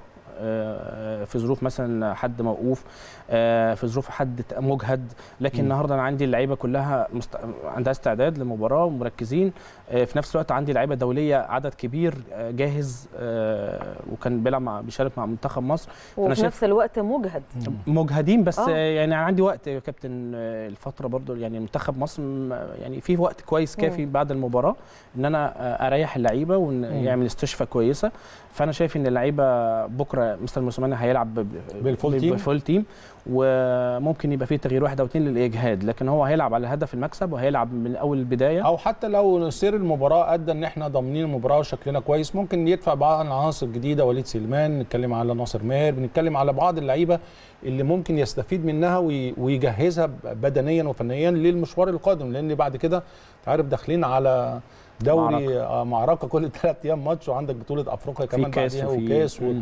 فالموضوع الموضوع ليه حسابات خاصة يعني اعتقاد ليه حسابات خاصة يعني. وممكن آه، ممكن من وجهة نظري برضو إن ممكن يبدأ وليد سليمان وليد سليمان اسم كبير نجم كبير. الحمد لله. آه خبرة كبيرة. آه وليه بصمته في الملعب فممكن ممكن يحط وليد. لو وليد كده كده آه، مستعد بشكل كويس رجع من اصابه كويس وشارك في ولعب. مباراة شباب ضد النادي الأهلي. ماشي في التمرين كويس جدا. يمكن. أنا بتابع وليد كمان وليد من الناس ال- المهمة جدا. الناس بتحب النادي جدا. من اللعيبة الكبيرة الموجودة في الفرقة. أعتقد إن هو ممكن مستر موسيماني يبدأ بيه المباراة آه، بحيث إن هو برضه يجهزه. ممكن ما أنا قلت لحضرتك هيبقى تغيير واحد أو محدود. اثنين بحدود. لكن إحنا دايما إن شاء الله مستعدين. اللعيبة كمان اللي هي موجودة على دكة البدلاء كله مستعد النهارده إن أنا اما انزل اخد فرصتي والعب ابقى اثبت نفسي واعمل آه، واساعد الفريق على على الاداء الكويس وعلى المكسب. فانا شايف ان اللعيبة كلها جاهزة. مستر موسيماني هيلعب بالفول تيم آه، تغيير واحد أو اثنين حتى لو وليد ما بدأش أو ناصر ماهر ممكن يبقى ليهم دور في الشوط الثاني بإذن الله حسب نتيجة المباراة. طب بمناسبة التغيير اللي حضرتك بتتكلم عليه المحدود جدا هل الفكرة دي برضو تنطبق على مركز حراسة المرمى ولا إحنا بنتكلم بطبيعة الحال انه مركز حساس جدا جدا فعمليات التدوير فيه بتكون بصعوبة شديدة جدا. مع فكرة انه بكرة يبدأ بعلي لطفي مثلا ولا لا؟ يبدأ من أول الشوط الأول والشوط الثاني يكمل بالشناوي ينزل الشناوي. لا أعتقد إن الشناوي ممكن يبدأ اللقاء هيلعب full team آه علي طبعا حارس كبير وحارس مستواه كويس جدا ومعانا مصطفى شوبير طبعا لكن اللقاء بكرة آه، النادي الأهلي عايز يكسب فمش آه، ده مثلا آه، عيب في علي أو عدم ثقة في علي أو الكلام ده لا هيلعب بالشناوي لأن هو عايز يلعب ويكسب. لكن أعتقد إن إن ممكن الكاس هيبقى فرصة للبدلاء. ممكن آه، بعد كده لو إحنا آه، كان كنا إحنا مثلا اول يا كابتن هاني بفرق آه، كذا نقطة ممكن كان يدي فرصة لل في خلال. مشوارك أمير ما ما صادفش إن أنت يعني الفرقة تأهلت ويمكن الجهاز الفني فكر مش هقول لك الصف الثاني لكن اللعيبة اللي ما بتاخدش مباريات كتير آه، من خلال آه، خبراتك أو من خلال تجربتك آه، عديت على المرحلة ديت وكان إدارة ال- الإدارة الفنية كانت بتتعامل معاها إزاي؟ عديت يا كابتن كان ساعتها لما كان لما الحضري كان ماشي من النادي كنت أنا كملت بطولة أفريقيا آه، كان كنا إحنا صعدنا أول مجموعة بفرق أوه. كذا نقطة وك- وكنا هنلاعب أسك أبيجان هنا في القاهرة يمكن الماتش الأولاني كان صعب جدا تعادلنا 0 0 هناك وبعد مم. كده ابتدينا نكسب أنيمبا وصعدنا أول مجموعة بفرق كذا نقطة مم. وكان ساعتها مستر مانويل الجوزيه ريحني وريح فلافيو وجيلبرتو المباراة اللي هي المباراة ال- آه مشابهة مشابهة مشابهة للقاء بتاع. بكرة آه. مشابهة ليها مم. وكنا فرق بنقط كذا نقطة يعني وفي نفس الوقت آه، كان ساعتها كان ريحني أنا وفلافيو واعتقد وائل جمعة وكان جilberto وبركات حاجة كده. آه، يمكن لعب بس بعنصر الخبرة كان أبو تريكة لاعب وكان آه، آه، لعب آه، ب- يعني أعتقد كان آه، بعض الناشئين مش ناشئين كان ساعتها في لعيبة كانت لسه جاية جديدة آه، من ما خدتش لسه ما مباراه خدتش آه ولعبوا اللقاء ده وكان مريحنا. لكن أنا أعتقد إن ال- الظروف بكرة آه، يعني النادي الأهلي عايز يكسب النادي الأهلي عايز يبقى ليه عايز يكسب. طب أنا بالنسبة لي دي مباراة تحصيل حاصل. بالنسبة لي أنا كده كده متأهل. أنا كده كده تاني المجموعه ما ده كلام بالبعض برضو يعني ب... فليه كده كده لازم يبدأ بالشناوي؟ ليه كده كده لازم يثبت التشكيل والتغيير يتم في, في حدود؟ آه، وارد. كل شيء وارد. ممكن لكن أنا أعتقد إن هو هيبدأ بالشناوي. أعتقد إن هو هيبدأ بالناس اللي هي الأساسية. ممكن يغير بعض ال- المراكز مم. آه، في الإجهاد يدي فرص زي ما كابتن هاني قال. لوليد لناصر آه، يعني ناس معينة مش بس لكن هو أعتقد هيلعب بال- بالشكل الأساسي. عايز يكسب اللقاء برضه لأن كان في كلام كتير الفترة الأخيرة. آه، واللعيبه عايزة تكسب فأعتقد إن هو ممكن يبدأ ويهمنا بكرة الثلاث نقاط مهمين. فلازم يستمر على النهارده إن أنت تكسب اللقاء ويبقى الشكل أحسن ونستعد بقى إن شاء الله لل- للماتشات اللي جاية. في في في فرصة للكاس لل- للعيبة اللي هي ممكن ما بتشاركش. آه. عندهم فرصة آه يعني أنت كويسه شايف مباراة الكاس هي الأقرب لاشتراك معظم اللعيبة اللي ما بتشاركش على أساس مباراة الكاس؟ رغم دايما مباراة الكاس بيبقى فيها مفاجآت لكن يمكن ال- ال- الفوارق الفنية ما بين طبعا نادي النصر ليه كل الاحترام لكن انت شايف ان مباراة الكاس هي دي اللي ممكن موسيماني آه، يعني يحط فيها اكبر عدد ممكن من اللعيبة اللي عايز يجهزها يعني. فرصة كويسة يا كابتن آه، يعني كاس بيبقى فرصة كويسة للناس اللي هي ما بتشاركش. يمكن ده كان مستر مانويل جوزيه كان بيعملها قبل كده إن كان الحاضر بيلعب بشكل أساسي وأنا كنت باخد الكاس كله كان من قاسم أول بقى. ديت؟ كان قاسم آه، على طول. كان يعني على أنت طول. بتاخد ماتشات الكاس طول. كلها. كاس على طول. من أول لقاء من أول ماتش لحد ال final. لحد ال final. ال final. ده كان على طول دايما الحارس البديل هو اللي بياخد الكاس مصر كله مم. آه ولكن أنا شايف من بكرة إن شاء الله لو ربنا كرمنا بكرة ب ب بنتيجة كويسة من آه. البداية أو الشوط آه. الأولاني أعتقد ممكن مستر موسيماني يريح الناس وبرده ماتش الكاس يدي آه، فرصة للبدلاء أعتقد كانت فرصة كويسة يعني مم. ديدي جوميز المدرب الفني الحالي لسيمبا التنزاني وكان قبل كده مدير الفني للاسماعيلي وأكيد عارف الكرة المصرية إزاي وعلى رأسها طبعا فريق النادي الأهلي تفتكر الأوراق المفتوحة دي بالنسبة لديدي جوميز ممكن تمثل نقطة ضعف بما إننا بنتكلم عن نقاط القوة والضعف نقطة ضعف بالنسبة للنادي الأهلي أمام سيمبا بكرة لا هو عارف إن هو بيلعب اسم كبير بيلعب نادي كبير أكيد. عنده ال- الناس اللي هي بتلعب أساسي زي آه. البدلاء هو واحد تمام وبعدين النهارده إحنا لو ريحنا بعض اللعيبة هنريح من الناس الأساسية مم. فيبقوا بدلاء فانت م- ال- البدلاء عندنا زي الأساسي بالظبط إحنا الحمد لله عندنا وفره من اللعيبة حتى كمان فرق معانا جدا ال- اللعيبة اللي راحت أعارة كابتن هاني ورجعت صحيح آه، بقى عندك عدد كبير آه، وعندهم خدوا خبرات زي. ناصر ماهر زي آه، أكرم أكرم. وشريف مم. وكل الناس دي كانت أعارات ورجعت فبالتالي الحمد لله عندنا وفرة مم. هو عارف كويس قوي النادي الأهلي هيلعب على المكسب وعارف النادي الأهلي مش مش عادته إن هو ياخد مركز تاني مثلا في بطولة كبيرة زي بطولة أفريقيا مم. فبالتالي هو أكيد عامل حسابه للنادي الأهلي وهو هو هو بيلاعب النادي الأهلي مش بيلاعب بدلاء النادي الأهلي ولا أساس النادي الأهلي هو بيلاعب النادي الأهلي البطل البطل آه. بطل أفريقيا فبالتالي عامل ح- 100000 حساب لكن هو بيتكلم معاهم في الأوضة إن أنتوا عندكم ثقة أنتوا أول مجموعة وما العبوا للمتعة وكل ده هيتقال له هي هو هيقوله للعيبة. فلكن النادي الأهلي في المقابل أنا نازل بروح النادي الأهلي بال- بالإصرار بتاع المكسب بالتركيز بتاع المكسب.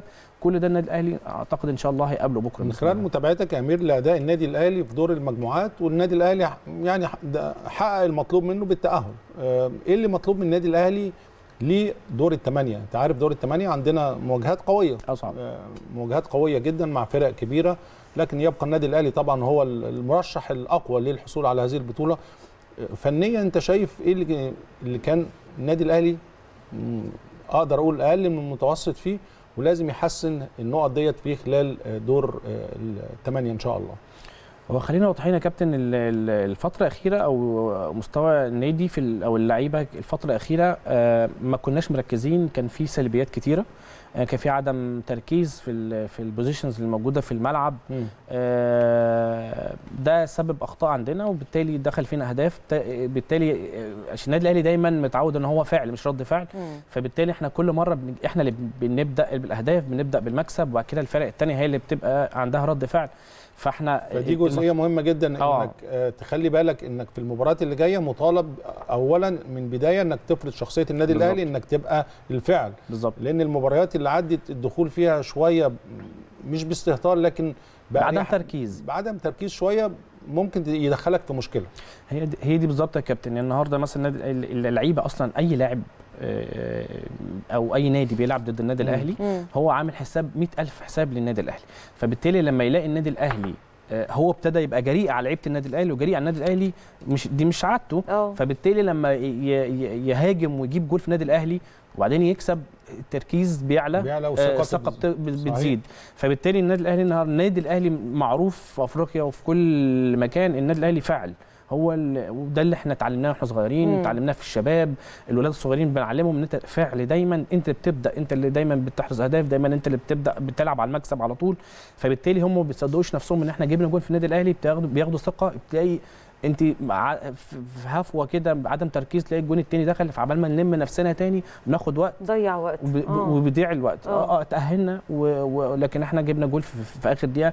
النادي الأهلي مش عادته. النادي الأهلي يجيب تعادل عشان يتأهل في آخر ثانية. النادي الأهلي دايما بيكسب في آخر ثانية. النادي. الأهلي بيبدأ ال- اللقاء بتركيز بيبدا بس كان آه، مهم برضو الجون ده يا أمير. مهم جدا مهم الجون جدا بتاع ياسر إبراهيم. طبعا. لأن في تفرق جدا إنك حتى بتتغلب. يعني حتى لا قدر الله ما كانش ليها دعوة بالتاهل بنسبة كبيرة لكن إصرار النادي الأهلي كمان وأنت في أسوأ حالاتك ودي يعني سمة الفرق الكبيرة وأنت كمان بتأدي بأداء مش كويس إنك لأ بتصر حتى للدقائق الأخيرة إنك ما تتغلبش على الأقل تتعادل وبان من فرحة ياسر إبراهيم الجزئية اللي بتكلم عليها لأ إحنا آه وحشين لكن إحنا قادرين إن إحنا كمان نحرز وعلى الأقل شيء إن إحنا كمان نتعادل وده شيء مهم أعتقد يعني. بص يا كابتن يعني شوف حضرتك إحنا مثلا صعدنا يعني لعبنا كام final في بطولة أفريقيا؟ آخر مرة إحنا كسبنا ال final وكسبنا قبليها بقى وصلنا النهايات في أسوأ حالاتنا.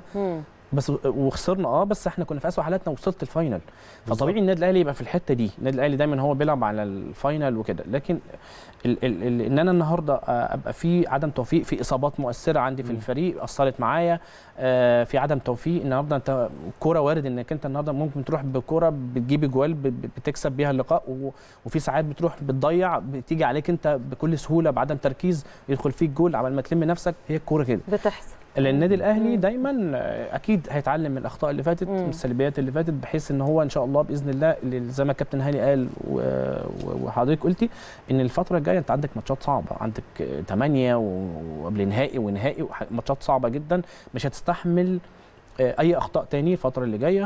فأنا شايف إن اللعيبة إن شاء الله والإصابات العالي يكون رجع إن شاء اللي. موجودة إن شاء الله مم. آه، مع عودة وليد سليمان آه، مع التركيز مع اللعيبة تبقى عندها اللعيبة في لعيبة في لعيبة كان- كانت موجودة في المنتخب آه، رجعت بحاجة إيجابية زي محمد شريف بدوافع آه. بدوافع ليه؟ كبيرة جدا؟ النهارده آه جاب جول بيلعب. أساسي شارك مع المنتخب جاي بثقه كبيرة جدا آه إجهاد لكن مع الثقة والحاجات دي كلها ومستعد لماتش زي ده وبطولة زي دي أعتقد إن اللعيبة إن شاء الله يبقى لها دور الفترة الجاية وبإذن الله لازم لكن آه لازم يفهموا إن بيلعبوا في النادي الأهلي آه بيلعبوا على الهدف اللي هو الأكبر المكسب. البطولة والمكسب آه يتعلم بس طبعا السلبيات. اللي فاتت واعتقد إن مستر موسيماني قعد صحيح. وعمل محاضرات وقعد مع الناس وقعد مع الناس الكبيرة. وهو دايما بيعمل اجتماعات ودايما بيتكلم آه، في في الحتة ال- الأمور الفنية والنفسية كويس جدا جدا.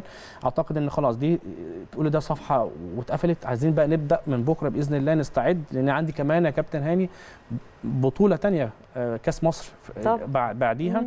ونستعد بقى إن شاء الله لدور الثمانيه في أفريقيا بإذن الله. إن شاء الله. بمناسبة دور الثمانية في أفريقيا وب- وبعيدا عن ال- المؤثرات الفنية النهاردة في من ال- ال- الفرق اللي إحنا ممكن نقابلها في دور الثمانية بعض الفرق ليها أو يعني معروفة بعلاقاتها مم. لا معروفة بعلاقاتها الخارجية و- وده تحديدا من المؤثرات الخارجية اللي بعيدة تماما عن كرة القدم. وممكن بيغير في النتيجة بشكل كبير ويمكن حتى يعني عديد من ضيوفنا يعني كان بيقلقهم الموضوع ده. فرق لم نسميها ولكن نتكلم في ده وتأثيره على النادي الأهلي. إن شاء الله يا رب يعني بعد بعد الفاصل أنا عارفة ثواني بعد الفاصل بس هل ده ممكن يضغط على النادي الأهلي أو يؤثر على دور الثمانية أو دور ربع النهائي؟ كابتن أمير عبد الحميد يوجب بعد الفاصل. خلاص بدأ الاستعداد النهائي لمباراة بكرة.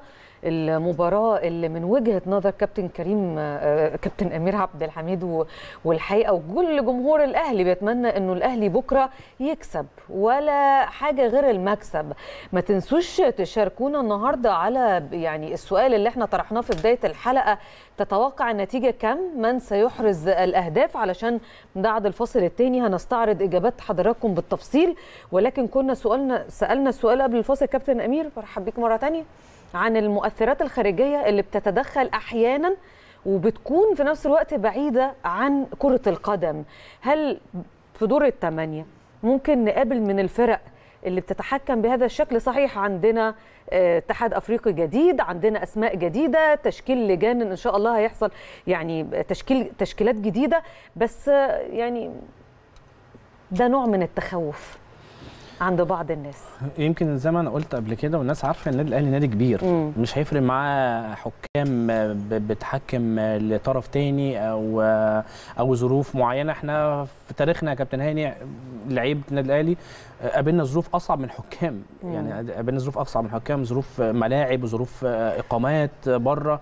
في نفس الوقت يعني في في ماتشات كتيرة جدا كان بيبقى علينا ظلم تحكيمي. يمكن إحنا لو نفتكر ماتش في 2005 أو 2006 تقريبا كان بنلاعب النجم الساحلي واتطرد مننا كابتن عماد النحاس ولينا اتنين بينالتي ما اتحسبتش. أحمد شديد قناوي وتقريبا واحدة واحدة بركات وكان على أرضنا.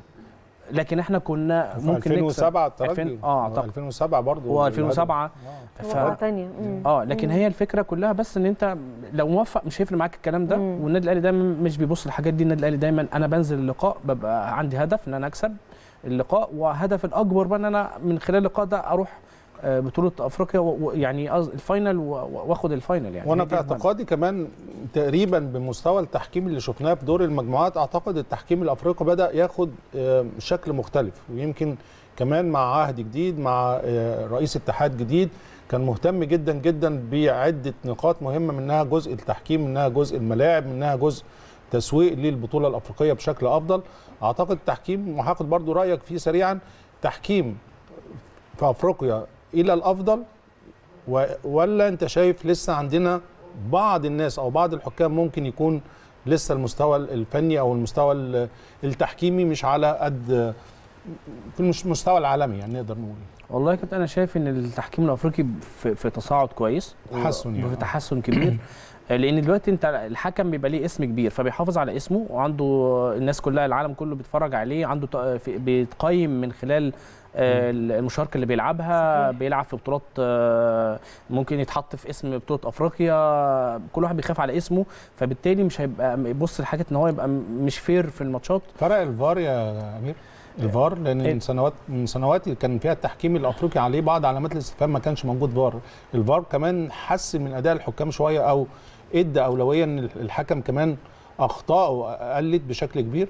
هو بعيد عن الفار يا كابتن أنا شايف إن الحكام في مستوى كويس جدا بصراحة. okay. و- وعندنا النهارده بنيجي مثلا final بتلاقي حكم أفريقي موجود وفي حكام ليها أساميها. فبالتالي النهارده آه، ال- الحكام بقى يعني بقى في حكام موهوبة في حكام آه، ابتدت آه، اسمها كبير فتحافظ على اسمها. آه، الفار ساعد طبعا وكل حاجة لكن أنا شايف الحكام آه، يعني مستواهم كويس جدا ولأن في مشاركات كتيرة جدا كل واحد عايز يحط اسمه كل واحد عايز يشارك في البطولات دي فبالتالي لازم يبقى فير لازم يبقى يلعب المباريات بشكل كويس ومحايد مع الفريقين يعني. بس في- بس في بعض الأحيان الأهلي برضه بيتظلم من موضوع التحكيم شوي وده يمكن كنا استعرضناه قبل كده بس النهارده لأ عندك يعني سلسلة من المعاناة الأهلي بيتعرض لها من قبل التحكيم. بنتكلم بشكل عام مش بنتكلم عن مباراة معينة أو عن بطولة معينة. ده فرق يعني لسه في قصور ده في التحكيم ولا لأ؟ يعني فرق للأفضل. ممكن في بعض الأوقات في. أخطاء بتفرق في, في نتيجة لقاء. بتفرق في نتيجة إن أنت تصعد لدور آه، بتبقى أخطاء آه، فردية؟ فردية آه آه، لكن الفار بينقذ دلوقتي الموضوع ده يا كابتن. هاني ال- الفار مش بينقذ الدنيا في دي. جيد مثلا في مباراة أنا أنا دايما المباريات ديت يعني عدم وجود فار كان عليه علامة استفهام. مباراة لا قدر الله ممكن جدا يكون في مش هقول خطأ آه، مقصود لكن خطأ غير مقصود يعني المباراة مثلا الأهلي وفيتا كلاب ضربة الجزاء اللي اتحسبت كانت هتفرق جدا مع النادي الأهلي في مشواره مش في التأهل لكن في الشكل الأفضل. الضغوط كانت هتترفع على اللعيبة بشكل كبير جدا. آه، أنا بتكلم عن النقطة دي عدم وجود فار في ادوار أدوار تمهيدية أو دور المجموعات ده برضه علامة استفهام. أعتقد لازم الموضوع ده يتعدل في السنين اللي جاية. لأن إحنا خلاص يعني البطوله الافريقيه بقت بطوله كبيره جدا جدا أقدر انها كل كمان العالم بيتفرج على البطوله ديت خاصة في النهائيات. فالموضوع الفار ورجوعه تاني آسف لدور الثمانيه أو لدور المجموعات. ده مهم في المرحلة اللي جاية أكيد يعني. المهم يا كابتن إن دي آه، مباريات حاسمة. ولقاءات لقاءات حاسمة لازم لو هو مش آه، بنسبة نقول 99% 95% كويس الفار بينقذ في بعض الحاجات لأن هيبقى ليه. دور مهم جدا ال- الفترة الجاية لأن أنت عندك أدوار وعندك آه، مباراه صعبة جدا وتوصلك لل final فأنا شايف إن ال- الفار ليه- دور ولازم يبقى موجود يعني الفترة الجاية لازم يطبق آه لازم آه. يطبق مم. لو عملنا كده عملنا استعراض سريع جدا للتشكيل وأنت مع ثبات التشكيل وده له إيجابيات يعني لو إحنا كده يعني مثلا ممكن تستعين بالورقة دي مش مشكلة. تمام. تاخد القلم ده من كابتن هاني لا يقولوه لنا من غير ما يجي- ما يجي- آه عشان ما يتلخبطش. هو هو أنا هو معايا قلم رصاص. هو آه. ال- ال- التغيير مش هيبقى زي ما قلت يا كابتن هاني بعض العناصر كتير. هيبقى في بعض العناصر آه، ممكن آه، هنقول الشناوي آه، معرفش هيلعب هاني ولا اكرم ناحية اليمين بس اعتقد هيلعب بهاني. مم. النهارده آه، طبيعي ان أنا العب ببدر بنون و- و- وياسر بس ياسر مصاب النهارده. آه. ممكن يلعب آه، ايمن اشرف والعب بيكهام ناحية الشمال. طب مش فرصة انه يدخل سعد سمير أو رامي ويشوفوا مباراة زي ديت. ولا انت شايف ان هم بقالهم فترة بعيد فخايف يبقى في مجازفة شوية؟ يعني الحسابات دي تحسبها إزاي؟ ادفع برامي أو سعد جنب جنب بدر على أساس ارجعهم تاني للمباريات ويبقى بيكا من ناحية الشمال ولا أنت شايف إن ممكن أيمن أشرف هو اللي يبقى باك شمال؟ أيمن كمان أعتقد محتاج راحة شوية لأن حسب حالة أيمن. يمكن حسب أنا حالة قابلت أيمن صدفة يعني واتكلمت. معاه. كان. لسه جاي من السودان. آه قال لي أنا لسه ركبتي فيها وجع شوية أو فيها بعض الإجهاد شوية. آه فممكن ممكن برضو لو أيمن واقف على رجله كويس كان و- بيعاني من رشح. آه فلو. هو كويس أعتقد إن ممكن أيمن هيلعب آه مع أساسي. بدر آه. لكن أنا شايف الكاس يا كابتن هي فرصة كويسة جدا لأن أنا أدخل سعد سعد وأدخل. رامي. الكاس مم. آه، لكن ماتش بكرة أنت عايز تكسب آه، ده مش ما يقللش ابدا من سعد ولا رامي الاثنين نجوم واثنين لعيبة كويسة جدا عندهم خبرات لكن طبعا كل واحد كان مصاب وبعيد عن الفترة اللي فاتت فانا شايف ان بدر ممكن يلعب هو وايمن وباكر ناحيه الشمال. مم. آه، ممكن يلعب هيغير بقى التغيير كله في الحتة اللي هي تحت ال forward دي. ممكن هتلاقي النهارده طاهر واخد ممكن تلاقي حسين الشحات بيلعب ممكن آه، يريح قفشة ممكن آه، ينزل آه، أكرم. يلعب وليد يبدأ بيه ممكن يلعب شريف ممكن يلعب بمروان يعني هيبقى في تغيير في الحتة اللي هي اللي تحت. دي, دي أكتر حاجة. آه. وناصر. لا أعتقد إن ناصر ممكن برضو كل الناس البعيدة قوي قوي دي تدخل في الكاس. آه okay. ولكن وليد هو عنده خبرات. وليد الوحيد اللي ممكن جاي من إصابات أو بعيد ولعب المباراة اللي فاتت أو. لعب الماتش اللي فات ولعب ماتش ال- الشباب. فأعتقد إن وليد ممكن يبقى موجود. ديانج هيبقى موجود في ال- في النص. وممكن عمرو ممكن يريح عمرو يلعب بأكرم. يعني حسب رؤية ال- المدير الفني. آه. بس أنا شايف إن هو مش هيغير يعني هيغير يعني نسبة كب- كبيرة جدا بعض اللعيبة عناصر بسيطة مش كتير مم. ف وعلي لطفي الكاس وعلي الكاس آه آه. ممكن ياخد الكاس. آه هي الكاس هيشارك بعض اللعيبة اللي هي بعيدة لكن مم. أنا شايف إن بكرة بنسبة كبيرة جدا هيلعب بالتشكيل الأساسي يغير بعض الحاجات حسب الإجهاد وحسب رؤيته هو برضه ممكن يبقى ليه وجهة نظر إحنا ما آه. نعرفهاش. آه لكن أنا شايف إن هو يلعب بالتشكيل الأساسي ممكن بكرة يغير واحد أو اتنين في الحتة اللي في القلب. ممكن في الفيرود كمان تلاقي مروان ممكن تلاقي بواليا حاله بواليا. ما أعرفش ممكن هيبقى هيشارك ولا لأ حسب النهارده شارك في التمرين الجماعي برضه بوالي آه ممكن يديله فرصة ممكن يلعب مروان ممكن مم. مع ضغوطات آه. ولسه راجع بواليا من من الإصابة يريحه ويبدأ بشريف قدام يعني هي الحتة اللي في القلب دي ممكن تلاقي طاهر ممكن تلاقي حسين الشحات ممكن تلاقي وارد آه، وتلاقي ناصر ممكن تلاقي وليد موجود مم. في الحتة دي هيغير ممكن هيغير. يريح قفشة عشان منتخب واجهاد لكن قفشة دوره برده مهم جدا لأن قفشة الوحيد اللي ممكن في الحتة دي بيقدر ينقل من الدفاع للهجوم بسرعة عنده رؤية كويسة ومشارك. همزة وصل آه طبعا إن كبيرة. إن ناصر بيعملها كويس ولكن آه. ناصر بعيد بقاله فترة. مم. فممكن ما عشان كده في اعتقادي قفشه عشان- الوحيد اللي آه. ممكن هو يثبت في الحتة دي ويغير بقى الناس اللي هي جنبه. طيب أنا أنا عايز أخدك ويمكن كانت سام سألتك قبل الفاصل على جزئية معينة مرتبطة بالخصم اللي هيكون إن شاء الله في دور الثمانيه آه، يمكن بعض الناس آه، بناء على كلام سام خايفة شوية من الشمال الأفريقي إن إحنا نلاعب الترجي أو الوداد. ناس بتفضل آه، صن داونز وناس على جزء آخر يقول لك لا صن داونز يمكن أفضل الفرق الموجودة في المجموعة من خلال النتائج من خلال الأداء. أنت رأيك إيه في الثلاث فرق دول؟ ومين على المستوى الفني؟ بنتكلم آه، طبيعي النادي الأهلي لا- بطل وعايز يكسب فعايز يكسب أي حد لكن مين اللي ممكن يسبب بعض الصعوبات للنادي الأهلي من الثلاث فرق دول؟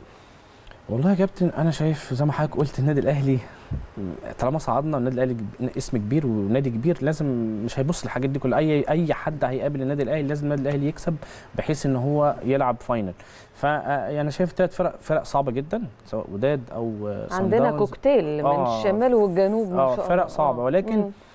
آه أنت وأنت لو أنت بتلعب خلينا هحطك في دور اللعيبة دلوقتي لو أنا أنت لو, لو أنت أنا بلعب بتلعب دلوقتي تلعب دلوقتي وبتفكر أكيد إحنا كنا لعيبة بنفكر آه يعني في, في, كل البطولات اللي دخلناها كنا بنشوف القرعة قبل المباراة مين كل واحد فينا بيقول لا, لا أتمنى يا ريت نيجي عند الفرقة دي. لو أنت لعيب دلوقتي في- النادي الأهلي وأنت بتفكر كده تقول لا أتمنى إن أنا ألعب فرقة مين؟ صن داونز ترجي الوداد؟ آه، أنا شايف إن الفرق شمال أفريقيا متهيألي دي آه، بالنسبة لنا هتبقى أريح شوية لأن عندك سان داونز آه، لعيبة سريعة وعندك آه، لعيبة إمكانياتها كبيرة عندهم لعيبة كويسة جدا.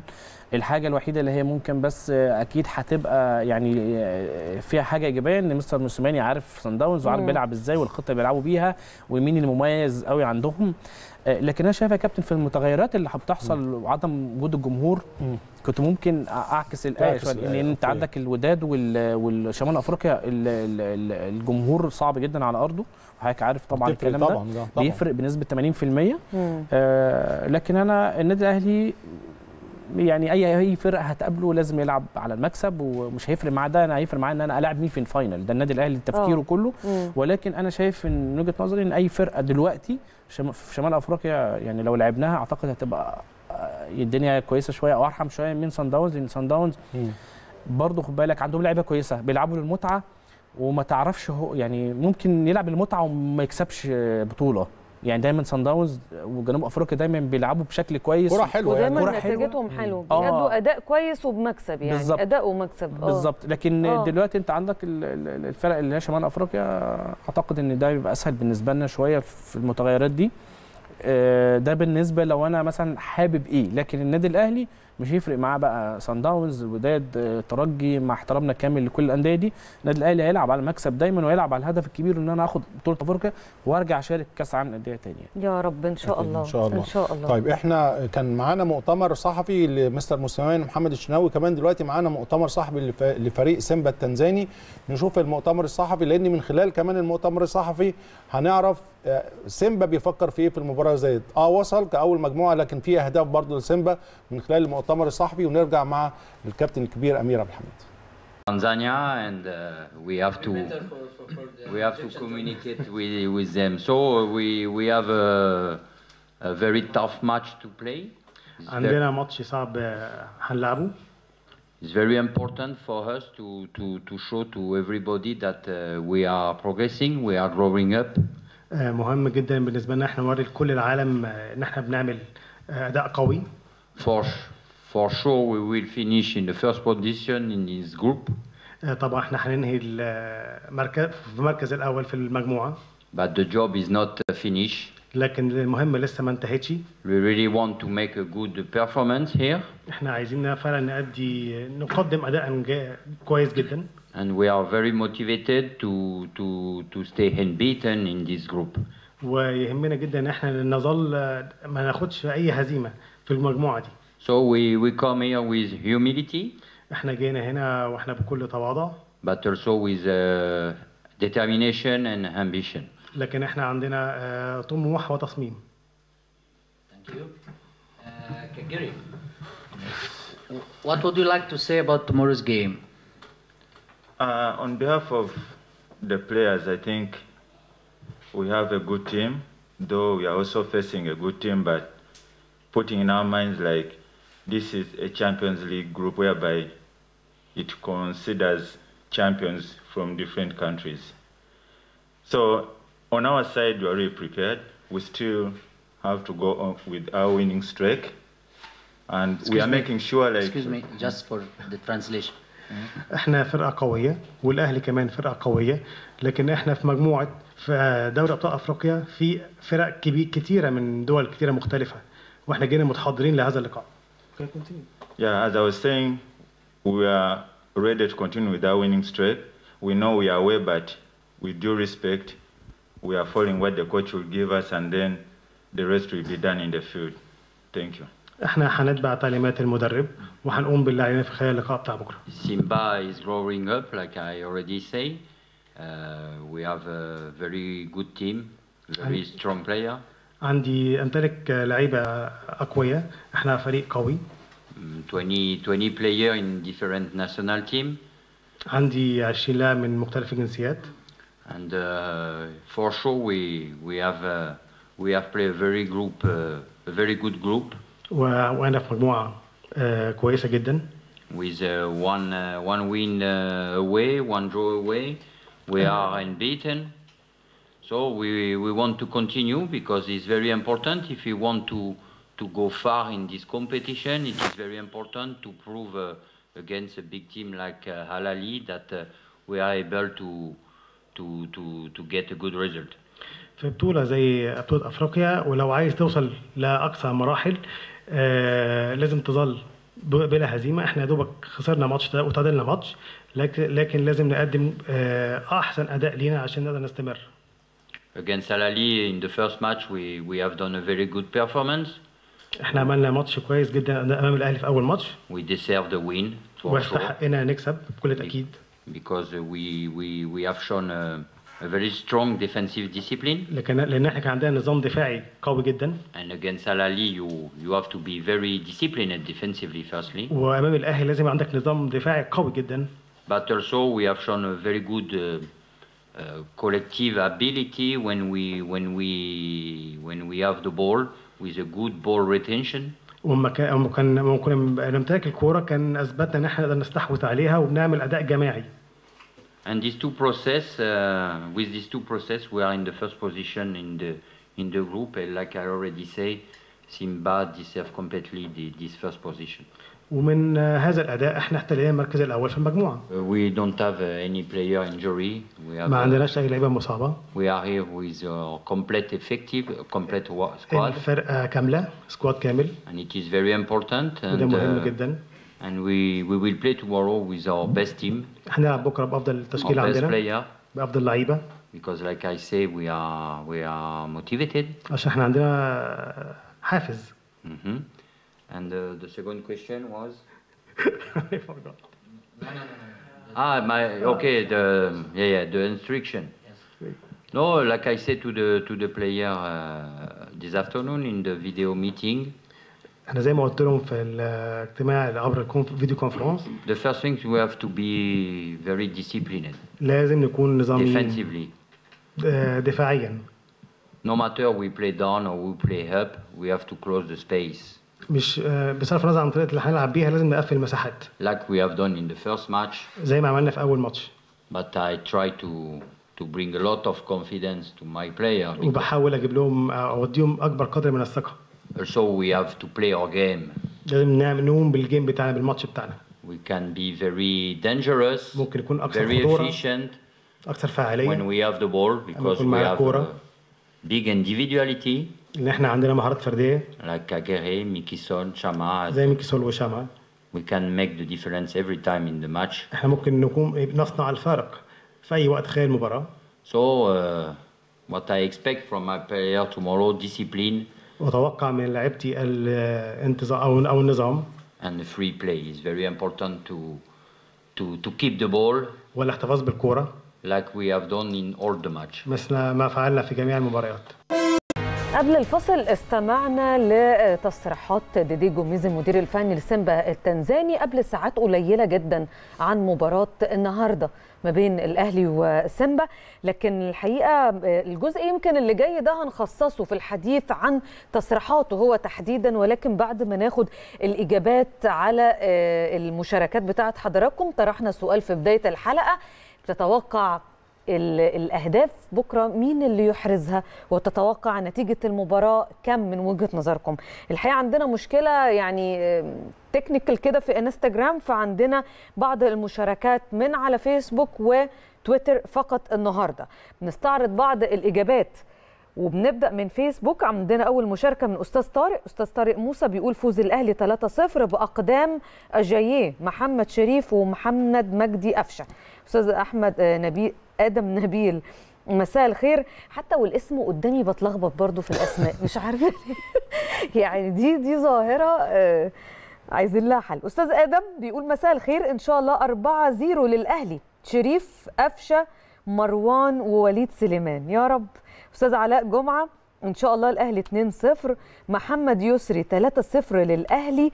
محمد شريف طاهر ومروان. هشام سليمان 1 0 وليد سليمان. ده كان على الفيسبوك على تويتر. محمد أمين بيقول إن شاء الله 2-0 للنادي الأهلي واللي هيحرز الأهداف حسين الشحات وبواليا إبراهيم تمام على تويتر بيقول 3-0 للأهلي بإذن الله بأقدام الحاوي وطاهر ومروان. علي جاد إن شاء الله الأهلي يكسب 5-0 أجاييه شريف قفشة بواليا ومروان. عبد الهادي البطران بيقول إن شاء الله 4-0 للنادي الأهلي واليا الشحات كهربا والحاوي. طبعا كهربا بره القايمة لكن هو متفائل وكلنا متفائلين. النتائج يعني كل الناس متفائلة مير بمباراة بكرة على يعني على مستوى النتائج. وده بيدل على ثقة الناس في لعيبة النادي الأهلي. وزي ما سام بتقول قبل الفاصل كان المؤتمر الصحفي اللي اتكلم فيه ديدي جوميز عن المباراة واتكلم في نقط محددة واضح جدا الثقة في نفسه. اتكلم على ثلاث أربع نقط. هناخد النقطة الأولى اللي هو اتكلم فيها إن هو جاي وحريص جدا جدا إنه يستمر في سلسلة اللا هزيمة إن هو الفريق اللي في المجموعة ما اتهزمش هيحافظ على ده بشكل كويس. الجزء الثاني بيتكلم كمان على بعض الفنيات ان هو حريص ان هو يعملها زي ما عمل المباراة الأولى قال لك أنا هأمن دفاعاتي بشكل كويس وهعتمد بشكل كبير على بعض الأوقات على المهارات الفردية أو الفروق الفردية. دي نقطتين هنتكلم معاك فيها. أنت شفت المؤتمر إزاي شفت كلام ديدي جوميز إزاي من خلال المؤتمر الصحفي؟ أنا شايف إن هو طبعا عامل يعني حساب للنادي الأهلي وعارف إن أهمية اللقاء ماتش صعب وقال لك أنا عندي ماتش صعب بكرة. وقال لك إن أنا بلاعب النادي الأهلي لازم أبقى بدافع كويس جدا. مم. وقال لك إن أنا الماتش الأولاني كنت حق أنا الاقدر إن أنا أوه. أكسب اللقاء. وقال إن أنا عايز أكمل سلسلة الانتصارات وقال إن الأمور ما انتهتش لسه في لازم أكمل على كده لأن هو عارف كويس قوي أنت ممكن تطلع أول مجموعة وده خلاص أنت خلاص أول مجموعة. تيجي في الدور الثمانيه تلاقي نفسك أنت بتخسر رايح جاي مم. وتطلع من البطولة. صحيح. يمكن شفنا قبل كده أنيمبا كان قبل كده عمره ما خسر 10 سنين ورا بعض. خسرتوها إحنا كسبناه هنا وما, وما وصلش الفاينل و... وطلع من البطولة. القطن الكاميروني كان قبل كده برضو آه قعد 10 سنين ما بيخسرش و... و... وإحنا كسبناه و... و... وما صعدش. وصعد نهائي بس قدامنا وقبليها برضو ما صعدش النهائي أو بعدينا بعد البطولة بتاعتنا. مم. فهو عارف كويس قوي إن هو لازم يكمل. مش دي نهاية الدنيا إن هو أول مجموعة وبعد كده يطلع من دور الثمانيه عارف إن طبعا النتائج وقال إن إن هو بيلعب بثقة. عندي لعيبة كويسة كتير وعندي مجموعة كبيرة وعندي مهارات فردية كويسة أقدر أستغلها بكرة. آه طبيعي إن هو يتكلم في الحتة النقط دي كلها لأن هو هو مش مصدق نفسه إن هو معايا النادي الأهلي في أول في المجموعة وأنا أول مجموعة والنادي الأهلي تاني. آه مش مصدق النتائج اللي حصلت قبل كده. آه موفق طبعا الماتشات اللي فاتت قدم مباريات كويسة وكان محظوظ فيها. عشان كده طلع أول مجموعة. النتائج هي اللي خلته يقول يتكلم بثقة كبيرة جدا إن هو أول مجموعة ما خسرش فطبيعي إن هو أول مجموعة مع النادي الأهلي ده يفرق جدا إنك تطلع طبعا. أول مجموعة مع بطل النسخة السابقة وبالتالي واخد ثقة كبيرة جدا وهو قايل إن أنا عايز أثبت إن أنا كمان جدير بهذا المركز يعني وقال حاجة مهمة جدا لازم أستمر لأنه مم. عارف إن هو ممكن ما لازم أكمل مم. على اللي أنا عملته بالزبط. فأنت بتقول مم. إنه النتائج اللي حققها في دور المجموعات هي اللي مخليها النهارده تصريحاته تكون بالشكل ده بالظبط آه لهجته تكون كده إحنا لو اتكلمنا عن النادي الأهلي كتاريخ أوه. ولا ولا سيمبا التنزاني تاريخ انهي انهي انهي أنهي منطق يقول إن ان سيمبا يبقى هو رقم واحد في المجموعة طبيعي النادي الأهلي هو البطل افريقيا النادي الأهلي بطل النسخة الأخيرة النادي الأهلي اسم كبير فطبيعي النادي الأهلي الكرة الأفريقية حصل فيها تطور كبير قوي يا كابتن أمين. فيها تطور ولكن ما نقدرش نقارنها النهارده بالكرة بقى. يعني ما نقدرش نقارنها بالكرة بتاعت 10 سنين فاتوا مثلا. أكيد أكيد آه يعني الدنيا اختلفت النهارده المواهب زادت اللعيبة عندها فرص تلعبوا في أوروبا. بعد بطولة أفريقيا طبيعي عنده فرص كتيرة جدا إن هو يحترف. يعني بالنسبة له أي لاعب في سيمبا مثلا يعني طموحه مش إن هو يسافر بره بس يعني لو جاله عرض من النادي الأهلي طبعا ده طموح كبير جدا بالنسبة له. فالنهاردة أما نيجي نتكلم على نادي سيمبا التنزاني مع النادي الأهلي آه، إن هو أول مجموعة على النادي الأهلي هو مش مصدق الكلام ده لكن النتائج خلته يطلع في المؤتمر يتكلم الأرقام بالثقه دي كمان يا أمير الأرقام وخلينا نتكلم هو بيتكلم كمان بلغة الأرقام انت من لغة الأرقام هو يعني دخل في مرماة خلال ال- الخمس مباريات اللي فاتت هدف واحد وأحرز تسع أهداف. تمام. فهو يعتبر أفضل فريق على المستوى الدفاعي وعشان كده هو بيتكلم في أسلحة. وانت يعني كمان من خلال كده تقول لنا ممكن النادي الأهلي يست- يستغل ده إزاي؟ هو بيقول لك أنا أنا هأمن دفاعاتي بشكل كويس قوي زي ما عملت هناك في سيمبا وهستغل سرعات اللعيبة والمهارات الفردية. وهو بيستغل كمان إن هو عنده من رصيد من عدد الأهداف القليلة قوي ان هو أفضل دفاع في المجموعة وبالتالي شايف إن دوت آه، السيناريو هيخش بيه المباراة إن هو هيدافع بشكل كبير جدا يعتمد على الكرات ال- المرتدة هيعتمد على زي ما قال المهارات الفردية بيقول أنا عندي لعيبة عندها مهارات فردية. رقم 11 لعيب مميز جدا اللي هو جاب هدف آه، هدف فينا في المباراة الأولى. تفتكر السيناريو هيكون ماشي بهذا المنهج وإزاي النادي الأهلي يقابله عشان نحقق نتيجة كويسة يعني. مش هيمشي يا كابتن بنفس السيناريو انت النهارده آه، الجو كان مختلف ملعب مختلف ظروف مختلفة آه، النادي الأهلي راح بكم فرصة ما كانش موفق هو راح بكورة واحدة موفق فيها إنها تشوت في ال في في, في الزاوية ال- ال- ال- العكسية للشناوي وتيجي ويبتدوا هم يدافعوا كويس رحنا مم. بكذا هجمة. فأعتقد إن الأمور هتختلف. النادي الأهلي بكرة آه، هو هيلعب بشكل دفاعي وزي ما حضرتك قلت هيلعب هجمه. مرتده. آه، ويعتمد على المهارات الفردية. بعض اللعيبة النادي الأهلي بكرة إن شاء الله لازم يأمن في البداية ويضغط في نفس الوقت خطة متوازنة. ولكن هو لازم يضغط أول ربع ساعة تلت ساعة بحيث إن شاء الله بإذن الله النادي الأهلي لو جاب جول في الأول خلاص الموضوع انتهى. وهيبتدي يلعب على الأطراف ويبتدي يلعب في العمق برضو آه، أعتقد مع الضغط. إن شاء الله نعمل نتيجة كويسة ونعمل ماتش كويس. و... ونبتدي نركز بقى إن شاء الله في دور الثمانيه الأصعب إن شاء الله الأصعب. الله. أنت يا أمير بتتوقع النتيجة كام إن شاء الله بكرة؟ وبرضه مين اللي هيحرز الأهداف من وجهة نظرك؟ أنا أتوقع ان شاء الله ان إحنا في بداية اللقاء ممكن نجيب جول اول مم. 10 دقائق ربع ساعة وبعد كده يعني ان شاء الله مش الشوط الأولاني هيطلع باثنين ثلاثة ممكن بإذن الله لأن النادي الأهلي هدف مبكر يعني. هدف مبكر هدف مبكر ده هي- هي- هيبين لك حاجات كتيرة جدا. آه. وان شاء الله النادي الأهلي يبقى موفق. ال game بقى. يفتح ال game. إن شاء الله. وهو هيبتدي برضه يدافع برضه يعني حتى لو دخل فيه جول أول أو تاني هيبتدي يدافع برضه إنه عارف إنه بيلعب النادي الأهلي والنادي الأهلي عنده آه، يعني آه، حلول كتير جدا. حتى في البدلاء آه، حلول كتيرة برضه عندنا مهارات فردية عندنا روح عندنا عزيمة كل حاجة موجودة بكرة بإذن الله هو بس عايز يحافظ على شباكه نظيفة أو خالية من الأهداف أفتكر. وده ده اللي بيفكر فيه النهارده بس هو هو عارف آه. إن بكرة هي... هو عارف إن بكرة هيخسر بس توقف على أمير علينا إحنا كمان يعني آه. توقف كمان بالظبط آه، كده. على تركيز. بداية البداية دايما ب- النادي الأهلي بدايات بتبقى مختلفة جدا والاستمرار في البداية يعني بدايات مباراة فيتا كلوب بداية رائعة اللي كانت طبعا هناك إنك بتبدأ ضاغط على طول و... والأهم كمان إن إحنا عايزين نتعلم من اللي فات إن إحنا كمان الفرص اللي تجيلك تبدأ تهدف فيها. وده كانت عندنا مشكلة صحيح في النادي الأهلي مباراة فيتا كلوب اللي في القاهرة فرص كتيرة جدا جدا آه، اتعلمنا الكلام دوت. ده كمان المفروض بكرة يتعمل. علشان النقطة اللي أنت اتكلمت عليها في خلال الفاصل إنك ما تدخلش الفرق game. بالظبط. إن فريق سيمبا آه بيحترم النادي الأهلي وبيلعب بطريقة دفاعية لكن لو في حس في وقت من الأوقات إن هو بدأ يمسك وقال كلمة إن هو أنا هستعمل الاستحواذ. هو من الفرق اللي بتعمل استحواذ مش فرقة أفريقية بتلعب ال long بول وبتبقى الموضوع لأ استحواذ كامل. فعشان دوت ما يتعملش إيه المطلوب من النادي الأهلي؟ علشان ولا يستحوذ يبقى الضغط العالي موجود الفرص اللي تجيلك تهدف منها ده ده مهم جدا في بداية المباراة يعني. هو قال كمان يا كابتن إن أنا مش هسيب مساحات للنادي الأهلي لأن هو عارف كويس جدا إن هو النادي الأهلي عنده حلول كتير وعنده سرعات وعنده مم. مهارات وعنده قوة وعنده روح وعنده كل حاجة النادي الأهلي فبالتالي هو هيلعب بشكل دفاعي بيبتدي آه، النادي الأهلي كمان مش هيديله فرصة إنه يستحوذ كمان النادي الأهلي هيضغط في أول 10 دقائق ربع ساعة إن هو يجيب جول آه، أول ده المفروض بقى النادي الأهلي النادي الأهلي يعمله. لازم النادي الأهلي يعمل كده لازم يقابل بده والنادي الأهلي هو هيعمل كده بكرة بإذن مم. الله وموضوع إن هو مش هيدخل فيه جوال ويحافظ هيدخل فيه جوال بكرة إن شاء الله والنادي الأهلي هيكسب.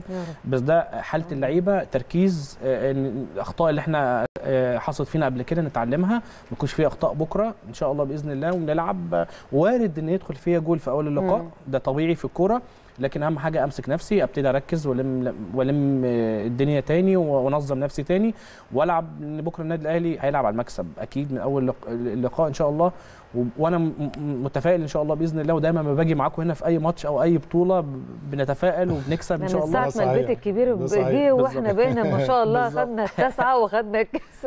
عشان دي يعني إيه ما- معروفة فأنا شايف النادي الأهلي بكرة بإذن الله آه. في أول لقاء هيضغط وبخطه متوازنة وإن شاء. الله بإذن الله ما يسيبش رب. مساحات لأن عندهم مهاره مهارات مم. برضو وقال لك أنا هستحوذ النادي الأهلي مش هيدوا له فرصة أساسا للكلام ده مم. فإن شاء الله بس أهم حاجة النادي الأهلي لازم يبقى فعل ما ينفعش إن. أنا النهارده أستحوذ أو أنا لما اخش فيها آه، ما أجيبش جول ويدخل فيها جول أستقبل جول. وأبتدي تاني أدخل بقى برد فعل إن أنا عايز أتعادل عشان ده وارد في الكورة لكن أنا شايف هتدخل في حسبة. ملهاش داعي. بالظبط. دي رسالتك للعيبة. وبعدين إحنا مش داخلين مش- مش بس المرحلة اللي جاية في دور الثمانيه هي الأصعب كمان أنت عندك دوري عايز تكمله عندك سلسلة من المباريات عندك الكاس برضو. السوبر الأفريقي السوبر الأفريقي 28 والمصري. ما تلعبش. ف... عندي زمالك كان في الدوري هدخل مع ماتش طبعا ماتش مهم. طبعاً. طبعا مباريات كتيرة جدا مؤجلة للأهلي كمان. ال- رسالتك للاعيبه إيه؟ لو بتنصحهم دلوقتي نصيحة على المشوار الأصعب المفروض في يعني في مشوارهم دلوقتي. إيه ال- اللي كابتن أمير يحب يوجهه للعيبة؟ يعني هقول للعيبة إن أو كل لاعب عارف إن هو بيلعب في النادي الأهلي بيلعب دايما على المكسب عليه. ضغوطات كبيرة جدا. اللقاء آه، كل ماتش حتى في الكاس وماتشات سهلة ماتشات صعبة النادي الأهلي دايما بيلعب على المكسب. اللعيبة آه، النهارده عارفة إن إحنا النهارده أبطال أفريقيا آه، ما ينفعش إن أنا أبقى مركز تاني. وده اللي إحنا اتعودنا من إحنا صغيرين وإحنا كمان في في مرحلة الشباب حتى المكافآت يا كابتن هاني ما كناش بناخد مكافأة على المركز الثاني اتعودنا على ده وإحنا. صغيرين فأنت بتلعب في النادي الأهلي اسم كبير نادي كبير لازم تلعب على المركز الأول النهارده ماشي ما كنتش. موافق في بعض الماتشات فبقيت أمر واقع إن أنت صعدت لكن النهارده لازم تعرف النادي الأهلي دايما فاعل دايما بيلعب على المكسب. آه، لازم آه، بداية من بكرة بإذن الله عشان مش عشان أكسب لقاء بكرة. أنت كده كده إن شاء الله اللعيبة حاطة في دماغها إن أنا لازم أكسب بكرة. أحسن الصورة شكلي كويس آخد ثقة. المكسب بيديني ثقة. آه، عندي بطولة تانية كاس زي ما حضراتكم قلتوا وبعدين ادخل على السوبر أفريقي. عندي دوري مهم ودوري صعب عندي ماتشات مؤجلة. عايز اطلع أبقى رقم واحد آه، طبعاً. الطبيعي بتاع النادي الأهلي كالعادة. فكل اللعيبة عارفة الكلام دوت آه وأنا يمكن اتكلمت مع بعض اللعيبة وكتير جدا قابلت أيمن أشرف اتكلمت إن أنا النهارده ما ينفعش أبقى في آه، عدم تركيز في اللقاء واتكلمنا مع بعض أنا وهو فإن شاء الله بإذن الله اللعيبة تكون عند حسن وإحنا ظن عندنا ثقة في اللعيبة وعندنا ثقة فيهم طبعاً. ان شاء الله بكرة يعملوا لقاء كويس نستمتع بيه ونبص بقى بعد كده في الأدوار اللي جاية إن شاء طب الله. كان في خبر سعيد بمناسبة الأكاديميات وأنا عارف إن أنت مسؤول في أكاديمية النادي الأهلي هنا في الشيخ زايد يا أمير؟ تمام يا كابتن. كان في خبر حلو قوي كلمنا عليه سريعا قبل ما ننهي اللقاء إن كان في دورة آه، بدأت حلقة الوصل تكتمل ما بين الأكاديميات وقطاع الناشئين.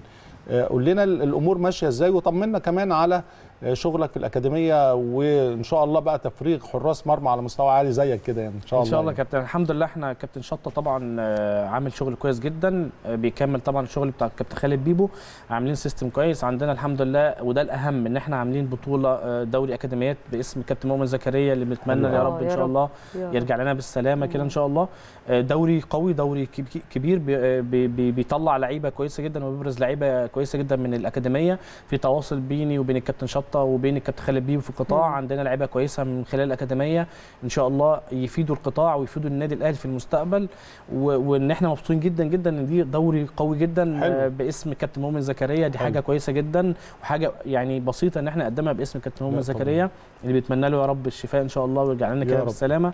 آه لكن عايز أطمن الناس عندنا حراس مرمى كويسين عندنا لعيبة مميزة وموهوبة إن شاء الله يبقوا يفيدوا القطاع ويفيدوا النادي الأهلي الفترة ممكن الجاية نشوفهم إن شاء قريب يا الله. إن شاء كابتن؟ الله إن شاء بإذن الله إن بإذن شاء الله. بإذن الله نشكرك شكرا جزيلا بجد نورتنا وشرفتنا دايما ودايما فعل الخير إن شاء الله حبيبي متوقعين كل التوفيق للنادي الأهلي ونشكرك شكرا جزيلا ميرسي لحضرتك. كابتن وسهام وإن شاء الله يعني دايما في تفوق. وتألق والتوفيق إن شاء الله الله يخليك. شكراً، كابتن شكراً شكرا جزيلاً، ليك كل. سنة وانت طيب كل سنه وأنتم طيبين إن شاء الله نيجي هنا يوم الأحد وإحنا بنحتفل وبنهني جمهور النادي الأهلي الكبير جدا اللي في كل مكان بالفوز وتحقيق نتيجة إيجابية إن شاء الله ويحصل من خلالها على ثلاث نقاط برضو آه، يعني مهمين جدا. بشكركم شكرا جزيلا. يوم الأحد نتلاقى من 10 لواحدة بالليل في البيت الكبير. صباح على خير.